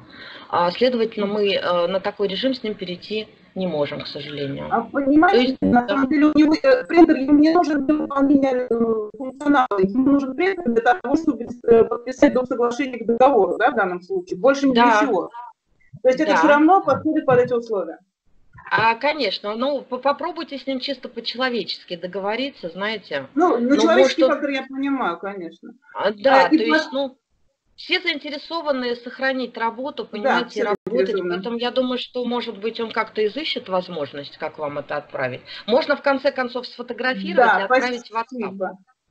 Это, я думала, что это непосредственно связано с его работой. Если не, не только для дополнительного соглашения, да, ну, я считаю, что это не повод не заключать с ним. А если Спасибо. Организация... И, да. Можно еще один вопрос относительно трудовых книжек, которые остались э, в закрытом э, центре, в закрытом офисе. Э, что делать, если человек подал все-таки заявление на увольнение, вот 6 надо ее уволить, а доступа к документам нет, ну, без нарушения режима самоизоляции, естественно. Как поступить а, в данной ситуации? А, вы знаете, очень сложный вопрос на самом деле, потому что у вас же там, я так понимаю, вы арендуете место в торговом да. центре? То это не торговый можете... центр, это, это просто арендованное помещение, то есть доступ туда теоретически, естественно, есть, но нарушать, в общем, никто особо не, не хотел бы и перемещение, и вообще все это. А, ну, понимаете, в чем дело? Так как у нас все-таки, давайте руководствоваться здравым смыслом, ЧЕС да. не объявили, так? Угу. А крепостное право отменили а, очень давно. Работники ну, имеют право увольняться, как вы считаете?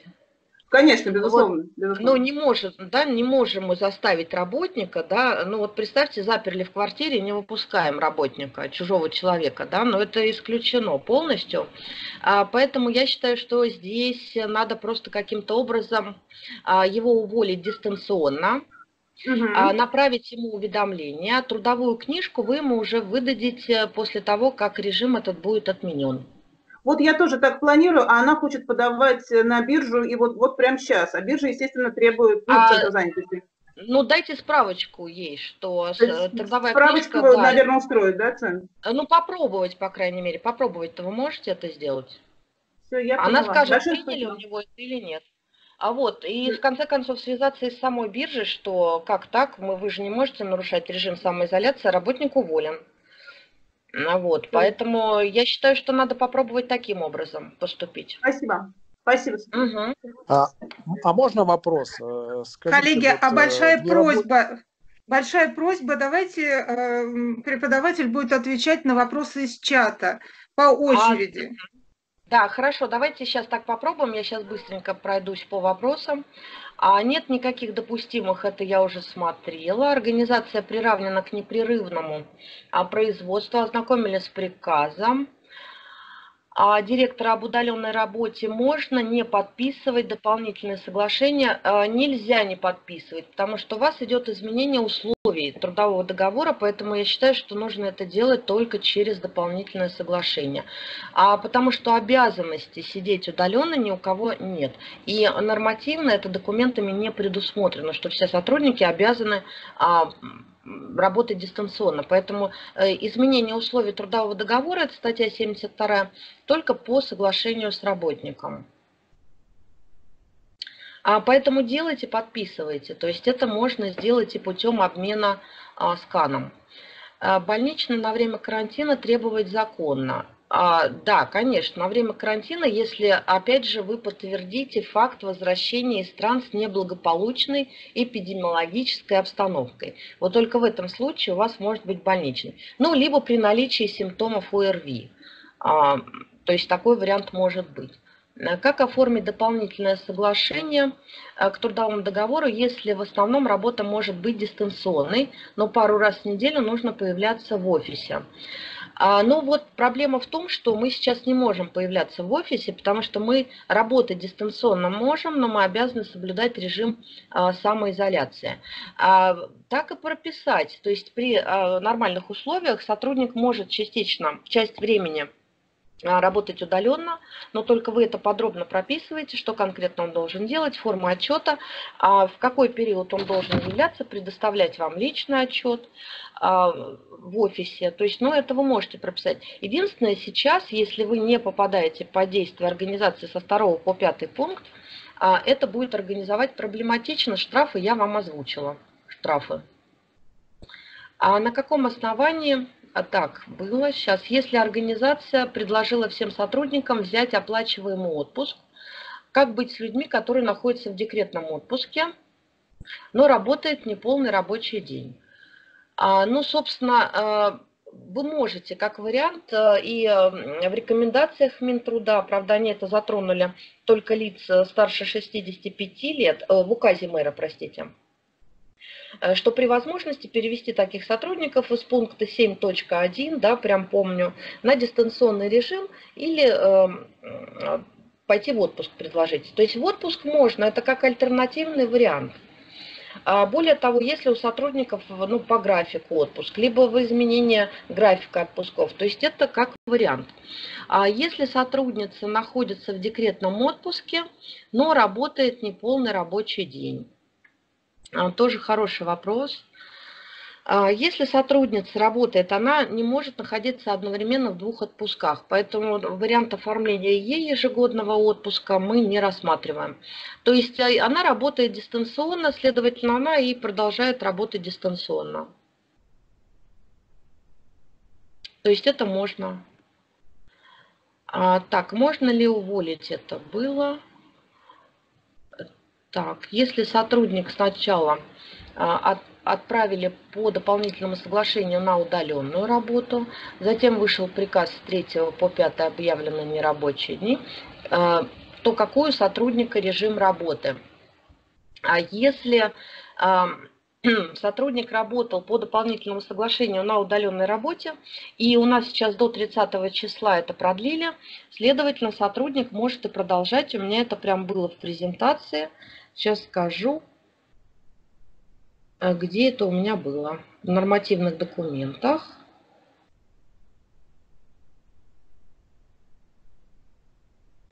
А вот работники, это письмо Минтруда, номер 14-4, дробь 10, дробь П. А вот, это дополнение к рекомендациям. То есть, посмотрите, там это есть. Э, и тут сказано, что работники, осуществляющие удаленный режим работы по согласованию с работодателем, имеют право на его продолжение в период действия э, указа с обязательным соблюдением требований Минздрава. А и далее, в период действия указа, изменения в части перехода на удаленный режим могут оформляться путем обмена электронными документами. Да, можете. А, так, э, если, если есть уже подписанное месяц назад соглашение сторон, а до дату, дату не рабочих дней будет ли нарушением увольнения в период до... А, я вообще считаю, по соглашению сторон, вот я хочу уволиться, вы не против меня уволить. То есть я вообще считаю, что э, увольнение даже в период нерабочих дней, оно может э, допускаться. Единственное, вот как вы отдадите трудовую книжку работнику, мы только что это обсудили, что э, могут быть определенные сложности. Но это можно оформить и вот, так скажем, удаленно.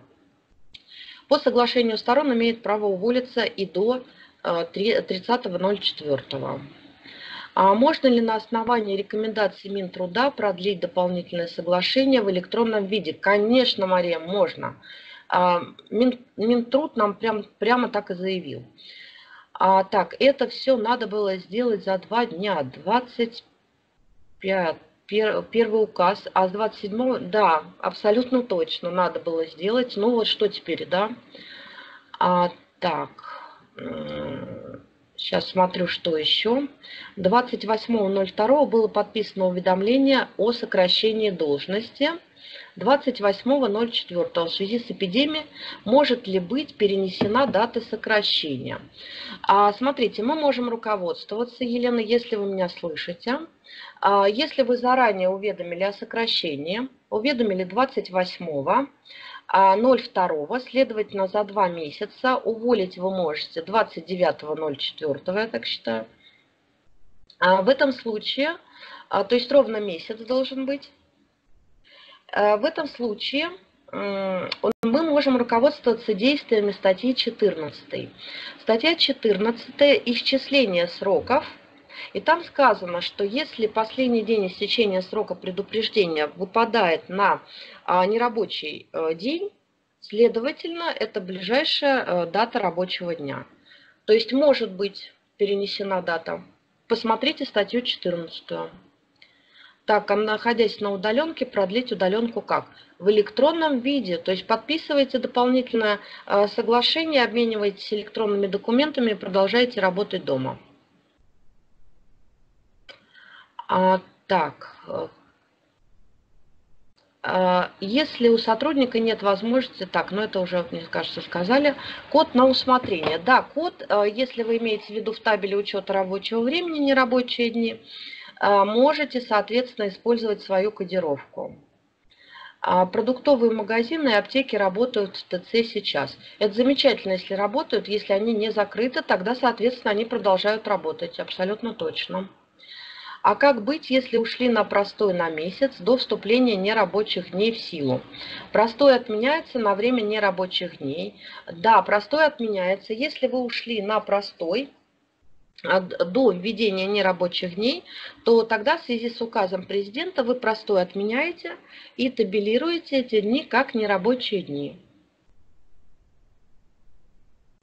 Так, как уберечь себя от сокращения, Светлана, это сложно, никак.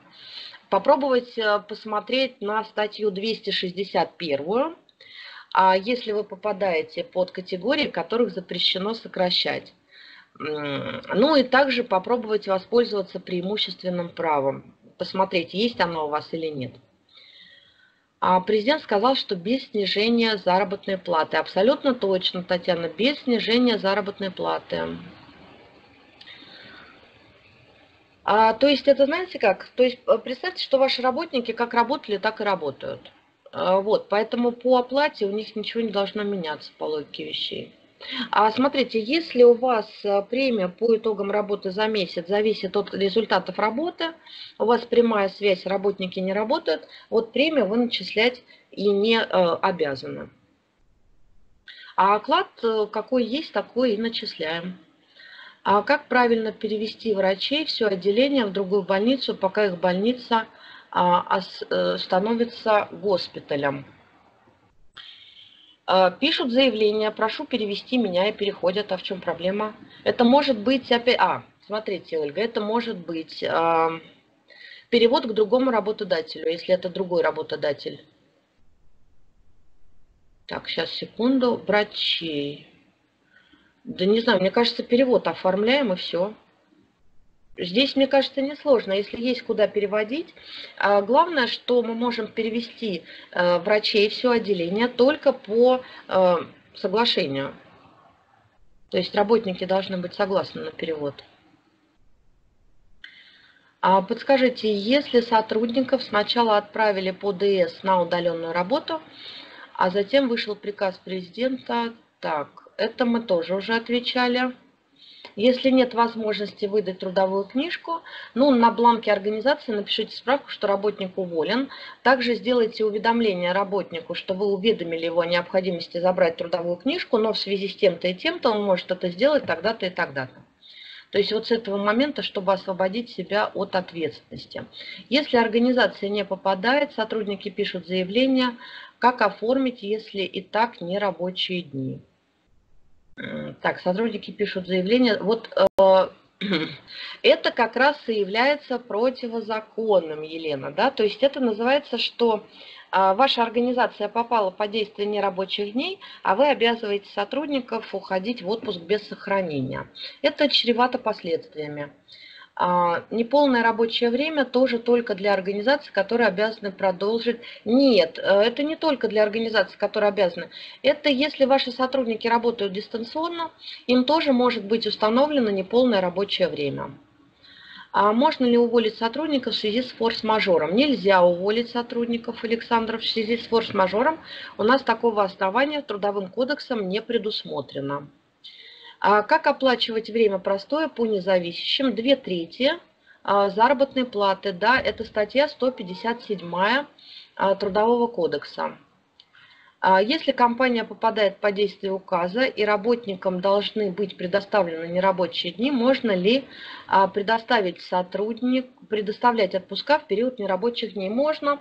Это у нас прямо указано в господи, сейчас где? Сейчас я вам скажу. А вот, это рекомендации работникам, рекомендации Минтруда.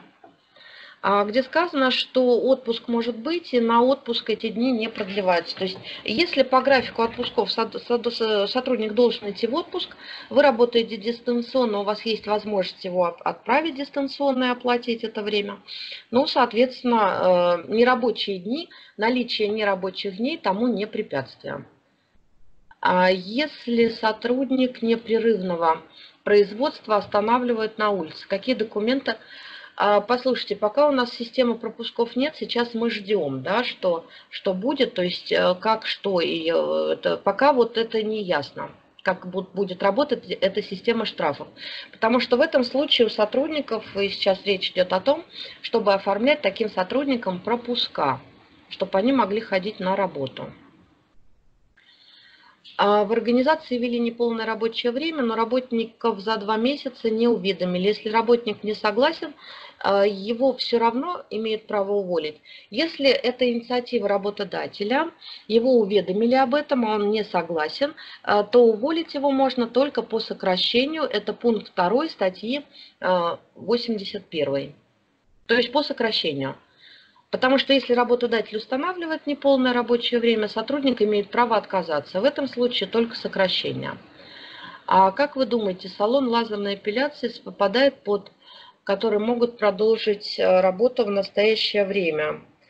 А, вы знаете, сомневаюсь. Сомневаюсь я, что он попадает. Если вы еще какие-то медицинские услуги оказываете, если у вас есть лицензия на оказание медицинских услуг, тогда еще можно сказать, что попадаете. Если это именно салон красоты, то тогда не попадаете, а тогда у вас это не рабочие дни. А так, в связи с отменой боятся ходить на работу из-за вируса. Что делать? А, ну вот опять же, ждем, то есть пропуска должны быть.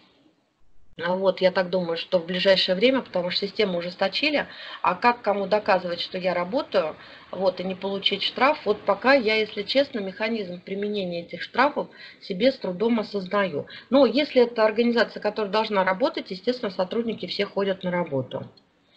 Случае появления полиции офис на удаленке. Как доказать, что производство непрерывное? Никак. Это не является непрерывным производством. Никак вы не докажете. Э, то есть э, офис на удаленке может работать вполне, не относясь при этом к непрерывному производству. А IT-компании, где работники работают удаленно, да, явку ставим. IT-компании, кстати, подходят, э, то есть они могут работать в период действия указа. А какие справки отдел кадров должен оформлять для сотрудников, вынужденных выполнять работу в офисе? А какие справки должен оформлять отдел кадров сотрудникам, которые вынуждены работать в офисе. Э, сейчас нет, у нас есть указ президента, поэтому никто не, мы не можем э, обязать сотрудников работать в офисе. Нет таких оснований, к сожалению. А возможно ли по одной должности кого-то перевести на дистанционное, а кому-то объявить простой до введения нерабочих дней? А, так, по одной до... Ну, это вот, э, да, как то, что я вам говорила.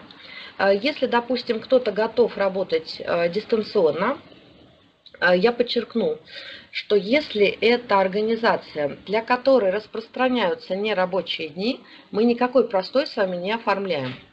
А, это может быть в каком случае, если вы организация того же непрерывного цикла, продуктовый магазин, аптека, ваши сотрудники отказываются ходить на работу, я считаю, что у них есть такое право. Как быть с такими сотрудниками, если правило нерабочих дней для них не применяется?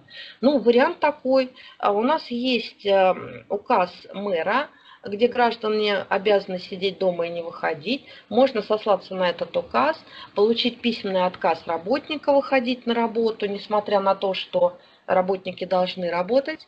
Э, я считаю, что э, таким работникам можно установить простое и платить им две трети, потому что одни работники у вас работают, получают зарплату, а другие, кто боится выходить, не можем их заставлять, я считаю так, что не можем заставлять, они у вас сидят дома, вы им будете оплачивать как две трети. Каков штраф за несообщение в службу занятости о сокращении? Ой, сейчас что-то у меня все соскакивает. Так. А сейчас посмотрим еще вопросы, которые... Э, так, в данных условиях обязан ли работодатель выплачивать аванс сотрудникам? А что такое самоудаленка? Светлана, непонятно. А, самоудаленка, я не поняла, что это такое. Инициирована работодателем, все сотрудники согласны. Мы можем обойтись без оформления заявлений. А, ну, конечно, дополнительное соглашение подписывайте, Юлия. Вы можете достичь согласия и устно. Поэтому подписали э, дополнительное соглашение, э, приказ о переводе, об установлении. И все. Не нужно заявление. Подскажите, пожалуйста, при временном переводе сотрудников на дистанционный режим работы можно ли избежать подписания... А, это я уже... А, так, на дистанционный режим работы. А, при, при временном на дистанционный режим работы у нас меняются, меняется режим работы. Вы сами написали режим работы. Следовательно, ДС должен быть. А далее приказом установить дистанционный режим работы сотрудникам, в конце концов, одним приказом, а дополнительное соглашение у нас будут являться э, основанием к этому приказу. А,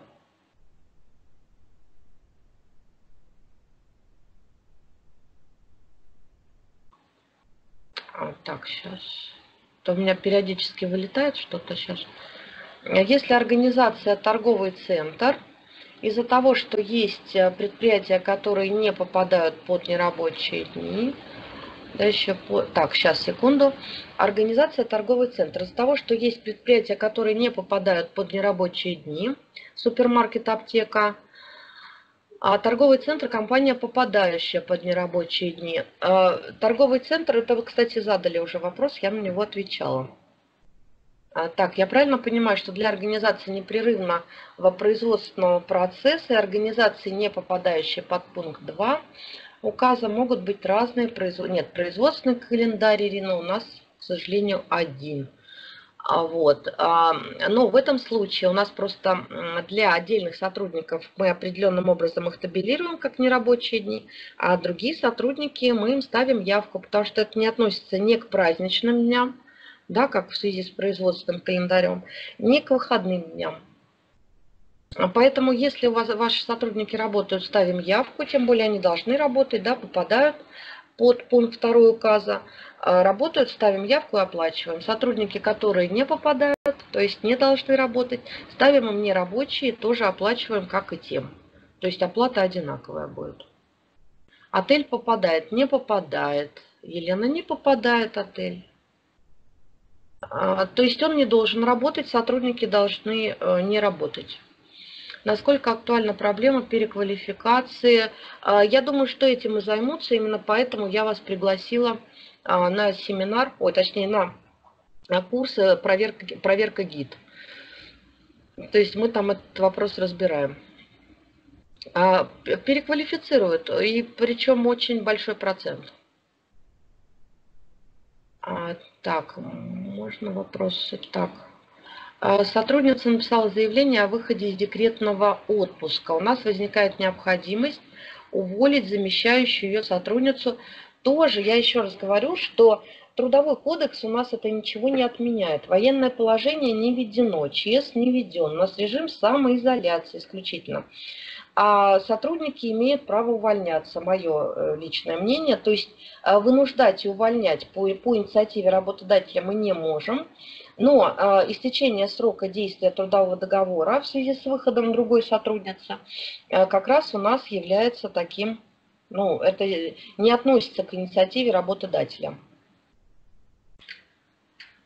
А более того, если вы сотрудницу ее замещающую, э, ну, единственное, какой вариант еще может быть, э, какой вариант, э, в вашем случае, Марина, я бы еще рассмотрела, ну, смотрите, если у нас действует указ, если вы организация, которая не работает, у вас нет возможности оформлять процедуру увольнения, у вас все сотрудники сидят дома и получают зарплату. А в этой связи э, есть смысл э, на период действия указа президента продлить срок действия трудового договора с этой сотрудницей, как вариант. Да? Вот. То есть такой вариант, конечно, можно рассмотреть. Но если вы ее не уволите, то уже потом вообще не уволите. Так, а можно уточнить по поводу отпуска. Отпуск проведен 6 отпускные уже выплачены. А ну и хорошо. А, то есть мы как, как идет отпуск, как будто этих нерабочих дней нет, так он и идет отпуск. То есть на а, период вот этих нерабочих дней у нас отпуск не продлевается. А, а извините, так. пожалуйста, Надежда, да? но вот еще раз про отпуска. Но ведь тут же говорится, что э, число дней отпуска не включается. Оно и не продлевается. Обратили внимание, Надежда? Ну, не включается и не продлевается. Заметили? Да, но если не включается, это как при а, дополнительных дня отпуска за работу в выходные дни. То есть они не включаются, ну, ну в общем, непонятно как-то. А, нет, смотрите, здесь все понятно. Это не относится к праздничным дням, потому что отпуск у нас продлевается только на праздничные дни. А вот эти вот нерабочие дни у нас к праздничным не относятся. Поэтому я думаю, что Минтруд имел в виду как раз именно это, что так как это не отнесено, то отпуск на эти дни не продлевается. но и не включается. Вот это вот взаимоисключающие. Да ну, вот это Минтруд. Минтруд, что вы хотите? Если бы они нам все комментировали четко и ясно, да, мы бы с вами не собирались бы на семинарах. Поэтому э, иногда бывает противоречивая информация. Но, опять же, также хотела сказать, что рекомендации Минтруда не носят характер нормативного документа. Еще очень важный момент. Вот, они не могут противоречить нормам трудового законодательства. А, так что э, не включаем. Точнее, не, не, не, не продлеваем отпуск на эти дни. Вот что я имела в виду. То есть, если да. отпуск попал и проведен, то, то и все. То и все, конечно, абсолютно точно. Далее, вот, допустим, окончание отпуска там 15 апреля, и далее вы уже в табеле табелируете как неоплачиваемый, точнее, как оплачиваемый рабочий день. А не рабочий день, простите. А вот, то есть вы ставите ОТ, э, именно которое совпадает с количеством дней отпуска, и далее вы ставите нерабочий оплачиваемый день, нот, к примеру. Вот, и дальше продолжаете уже табелировать как нот. То есть сотрудник не имеет права на дополнительное количество дней отпуска. Должны ну, иметь сотрудники. Так. А пока не могу сказать по поводу документов, которые должны иметь при себе сотрудники. Очень жду а, разъяснений по этому поводу. Пока не готова сказать. А срок действия трудового договора, да, это мы а, тоже определили. То есть дата прекращения трудового договора не переносится. Но смотрите, вы в связи с указом президента, если вы не попадаете под непрерывно действующий, если вы попадаете под организации в пункте втором указа президента, здесь проблем нет потому что вы продолжаете работать, и в этой связи вы прекращаете трудовой договор а, в связи с истечением срока его действия. Если вы э, относитесь к организациям, которые должны э, сидеть дома, то есть у вас не рабочие дни оплачиваемые, вот в связи с этим, со ссылкой на указ, я тоже считаю, что приказом руководителя срок э, трудового договора может быть на этот период продлен. Но до конца этот вопрос у нас сейчас пока не урегулирован, поэтому профессиональное сообщество все на ушах стоит. Я извиняюсь, вы пропустили мой маленький вопрос. Можно ли в нерабочие дни э, расторгнуть э, доплаты к окладу с работниками? А, я считаю, что можно. А смотрите, можно, да? если это фиксированное, сейчас я вам э, объясню э, свою позицию. Если это оклад, который у нас прописан в трудовом договоре, и фиксированные доплаты, например, надбавки, например, за вредность, там, я не знаю, ну, какие-то северные, в конце концов, вот их э, нельзя отменить. Если это доплаты, связанные с эффективностью работы подразделения, а, с, связанные с прибылью компании, то есть в виде премии, то, что выплачивается. Вот это может быть отменено, то есть работодатель в сложившихся условиях ну, будет оптимизировать фонд оплаты труда и будет убирать вот эти вот стимулирующие выплаты. Поэтому здесь просто надо смотреть, что у вас в трудовом договоре прописано. И что прописано Хорошо. в локальных актах. Спасибо. И тогда уже можно точно сказать, что можно, а что нельзя. А что сделать, если скан нужно сначала распечатать? Ну, можно с, с, да, распечатать. Ну вот, вот как-то да, я не могу вам тут ничем помочь. Надо изыскать возможность распечатать. Так, э, частная клиника занима, может работать в период самоизоляции. Да, она относится к организациям, которые могут работать. А частная клиника, частные клиники, а, медицинские организации, они работают наряду и с э, другими медицинскими организациями. А отпуск в нерабочие дни оформляется и используется как обычно, абсолютно точно. Как обычно, перенос отпуска по согласованию с работодателем может быть перенесен. Так, выдавать ли работникам на ежегодную? Ну, конечно, это выдавать, то есть все за 14 дней, то есть мы соблюдаем требования 123 статьи, то есть у нас указ президента отпуска не отменяет. Так, общий ПИД закрыли. На каких условиях часть сотрудников может работать на доставку? А, доставка разрешена, а, то есть э, запрещено обслуживать в зале Но а, с доставкой, то есть как вот сейчас многие рестораны перешли, сотрудничают с Delivery Club, вот, и а, доставляют продукты на дом. То есть это можно а, оформить, то есть это попадает под действие, если вы посмотрите. А, есть в указе мэра Москвы, а, который вот о внесении изменений в указ, то есть вот номер 31, который УМ, а вот там как раз э, перечислены организации, которые могут работать. Э, и там про доставку сказано. А подскажите, если все ушли на удаленку, но ДС не оформили, а всем обеспечен доступ, как поступить? Оформить дополнительное соглашение, Ирина. А разъясните, пожалуйста, когда сотрудникам начислить первую... Ага, вот этот вопрос мне тоже задали. И я тоже исключительно э, не могу ответить на этот вопрос, потому что, ну вот он не продуман ни в одном указе, ни в одном нормативном акте, он не продуман этот вопрос. Поэтому не могу я его сказать. То есть здесь что все, э, э, могу сказать, где все понятно. Если вы работающая организация из пункта второго, то вы оплачиваете зарплату все как положено, как предусмотрено. А если вы организация, которая перешли на удаленный режим, работаете удаленно, следовательно, вы тоже можете своевременно начислить работникам заработную плату. Но если вы организация, которая сидит дома, а, просто некому начислять зарплату, да, а вот здесь в комментарии было сказано как-то, да, вот э, мне попался такой комментарий, что 27-го надо было выплатить зарплату. Ну хорошо, сейчас-то нам продлили до 30-го, как быть? Вот ждем комментариев Минтруда. Ждем очень, потому что вопросами а, Минтруд завалили, поэтому я думаю, что в ближайшем будущем мы получим комментарий на этот счет. А можете пожалуйста, озвучить вопрос, нужен ли кому-нибудь работник. Ну, это да, это так, э, полезно, но мое время вышло. Надеюсь, что так. А если нет возможности? Так, сейчас дальше смотрю.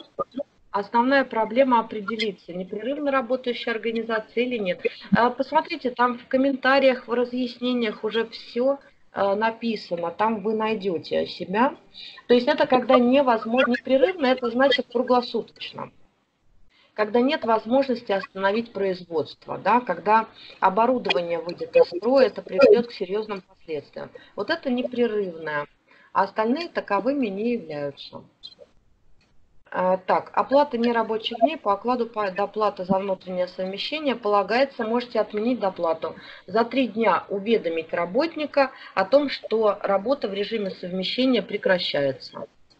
Вот, а, то есть э, работодатель может по собственной инициативе, если вам это не нужно, совмещение отменить и доплату за совмещение не начислять, даже если сотрудник не согласен. А получается, если сотрудники написали заявление на отпуск а без сохранения ЗП, это незаконно. А это может повлечь серьезные проблемы. Я вам уже показала сайт горячей линии, а вот, куда могут обратиться сотрудники. То есть, если это у вас единичный случай, вот та же мама, которой некому не с кем оставить детей, она должна ходить на работу. Ежегодный отпуск она уже использовала не так давно, у нее нет дней ежегодного отпуска. Вот тогда, как вариант, она может попросить дать ей хотя бы отпуск без сохранения. Но если у вас все массово это напишут, то это э, ну, будет признано как незаконным. А попадаем по действию указа. Можно ли сотрудникам оформить дистанционную работу с уменьшением количества а, часов? Конечно, можно, Татьяна. Сейчас все этим и занимаются. Это вполне законный способ. Работникам нужна работа, а э, работодатель желает сохранить организацию в целом. Поэтому интерес обоюдный, и сотрудники соглашаются и на дистанционную работу, и на уменьшение количества часов и оплаты соответственно. Поэтому я думаю, да а IT-интеграторы попадают. IT попадают, точно могу сказать. Строительные компании тоже про строительные компании сказано, что они работают, а попадают. Если, то есть они могут работать, написали за свой счет 27 марта на апрель. до обязательного карантина. Конечно, Елена, да, это вот как раз тот случай, когда к вам могут прийти в гости после окончания так называемого карантина, который карантином не является на сегодняшний момент. А Вера нет точного списка непрерывных производств, к сожалению. Так, массовая выплата материальной помощи в целях текущих условиях не привлечет массовая выплата материальной помощи. Ну, если есть такая возможность, Евгений, я думаю, что не привлечет внимание трудовой инспекции. Вот как раз не выплаты привлекут. А если вы выплачиваете, то это все замечательно. А часть работников смены ТР объявлены нерабочие дни. Сменные работают по, как э, вывести при необходимости ТР и оплатить. А зачем мы их вообще э, это, убирали с графика? То есть если они вам нужны, э, у вас непрерывное производство, следовательно, для вас э, не, правила нерабочих дней не распространяются. Поэтому все ваши люди должны работать в соответствии с графиком. А вот, поэтому часть сменников, сменщиков у вас, э, так, ТР объявлены. А почему они объявлены у вас? Нет, э, в общем, э, на них не распространяются нерабочие дни, они должны работать. Если сотрудник не отказывался от дистанционной работы, но ему объявили простой. А простой может быть объявлен предприятием, подчеркну, опять же, в ряде случаев, только в ряде случаев. Если в каком случае это будет незаконно, а если это организация, которая должна отправить сотрудникам домой, сотрудников домой и оплачивать им нерабочие дни. Вот если нерабочие дни им организация и тут же объявляет простой, это будет незаконно, потому что нерабочие дни в соответствии с указом президента не могут являться простоем. Надо ли подавать на сотрудников? Э, да, э, там не предусмотрено. Извините, можно на секундочку насчет нерабочих дней буквально влезть с маленьким вопросом? А, ничего страшного, если влезу. Так, да, давайте. Да, Я пока смотрите. читаю следующий вопрос. Да, смотрите, такой вопрос. А, значит, э, торговый центр, э, в котором, который закрылся полностью на вот эту нерабочую неделю и, скорее всего, будет не работать до конца, соответственно, апреля. А, в торговом центре находится точка продаж, э, которая относится к непрерывно действующей организации. Так как торговый центр закрыли, соответственно, торговый центр не дал возможности э, этой организации работать на точке продаж. Что сделал работодатель? Весь коллектив этой точки отправил на неоплачиваемые выходные. При этом э, простой, ну, простой, организация простой отказ. Что а... делать Обратите внимание на горячую линию онлайн-инспекции. А, и передайте привет вашему руководителю. А вот, потому что, да, потому что я хочу сказать, что это не закон, а вот простой, а руководствуемся правилом, мы не можем ухудшать положение работников по сравнению с нормами а, трудового законодательства. И вот сейчас эти работники могут написать на работодателя коллективную жалобу, а далее это проверка и далее огромные штрафы. Проще заплатить две трети от оклада этим сотрудникам а, как простой оформить. Но это мое мнение, да, в этом случае риски минимальны. А, так. А, посл... Так, что я хочу вам сказать? Ну, тут вопросы уже повторяются, да. А, если очень нужно, задайте голосом потому что я уже, так сказать, их э, плохо вижу, эти вопросы, да. Я думаю, что нам сейчас, секунду, надо будет заканчивать. А для тех, у кого нет вопросов, вы так, тогда я с вами прощаюсь. Обратите внимание, что а, мы на наших курсах все это рассказываем, поэтому приходите и более подробную информацию мы вам обязательно предоставим. А, потому что невозможно за полтора часа уместить, а, так сказать, ответы на все интересующие вас вопросы. Вот, поэтому всем большое спасибо за участие. Если очень нужно задать вопрос, задайте. А с остальными я прощаюсь.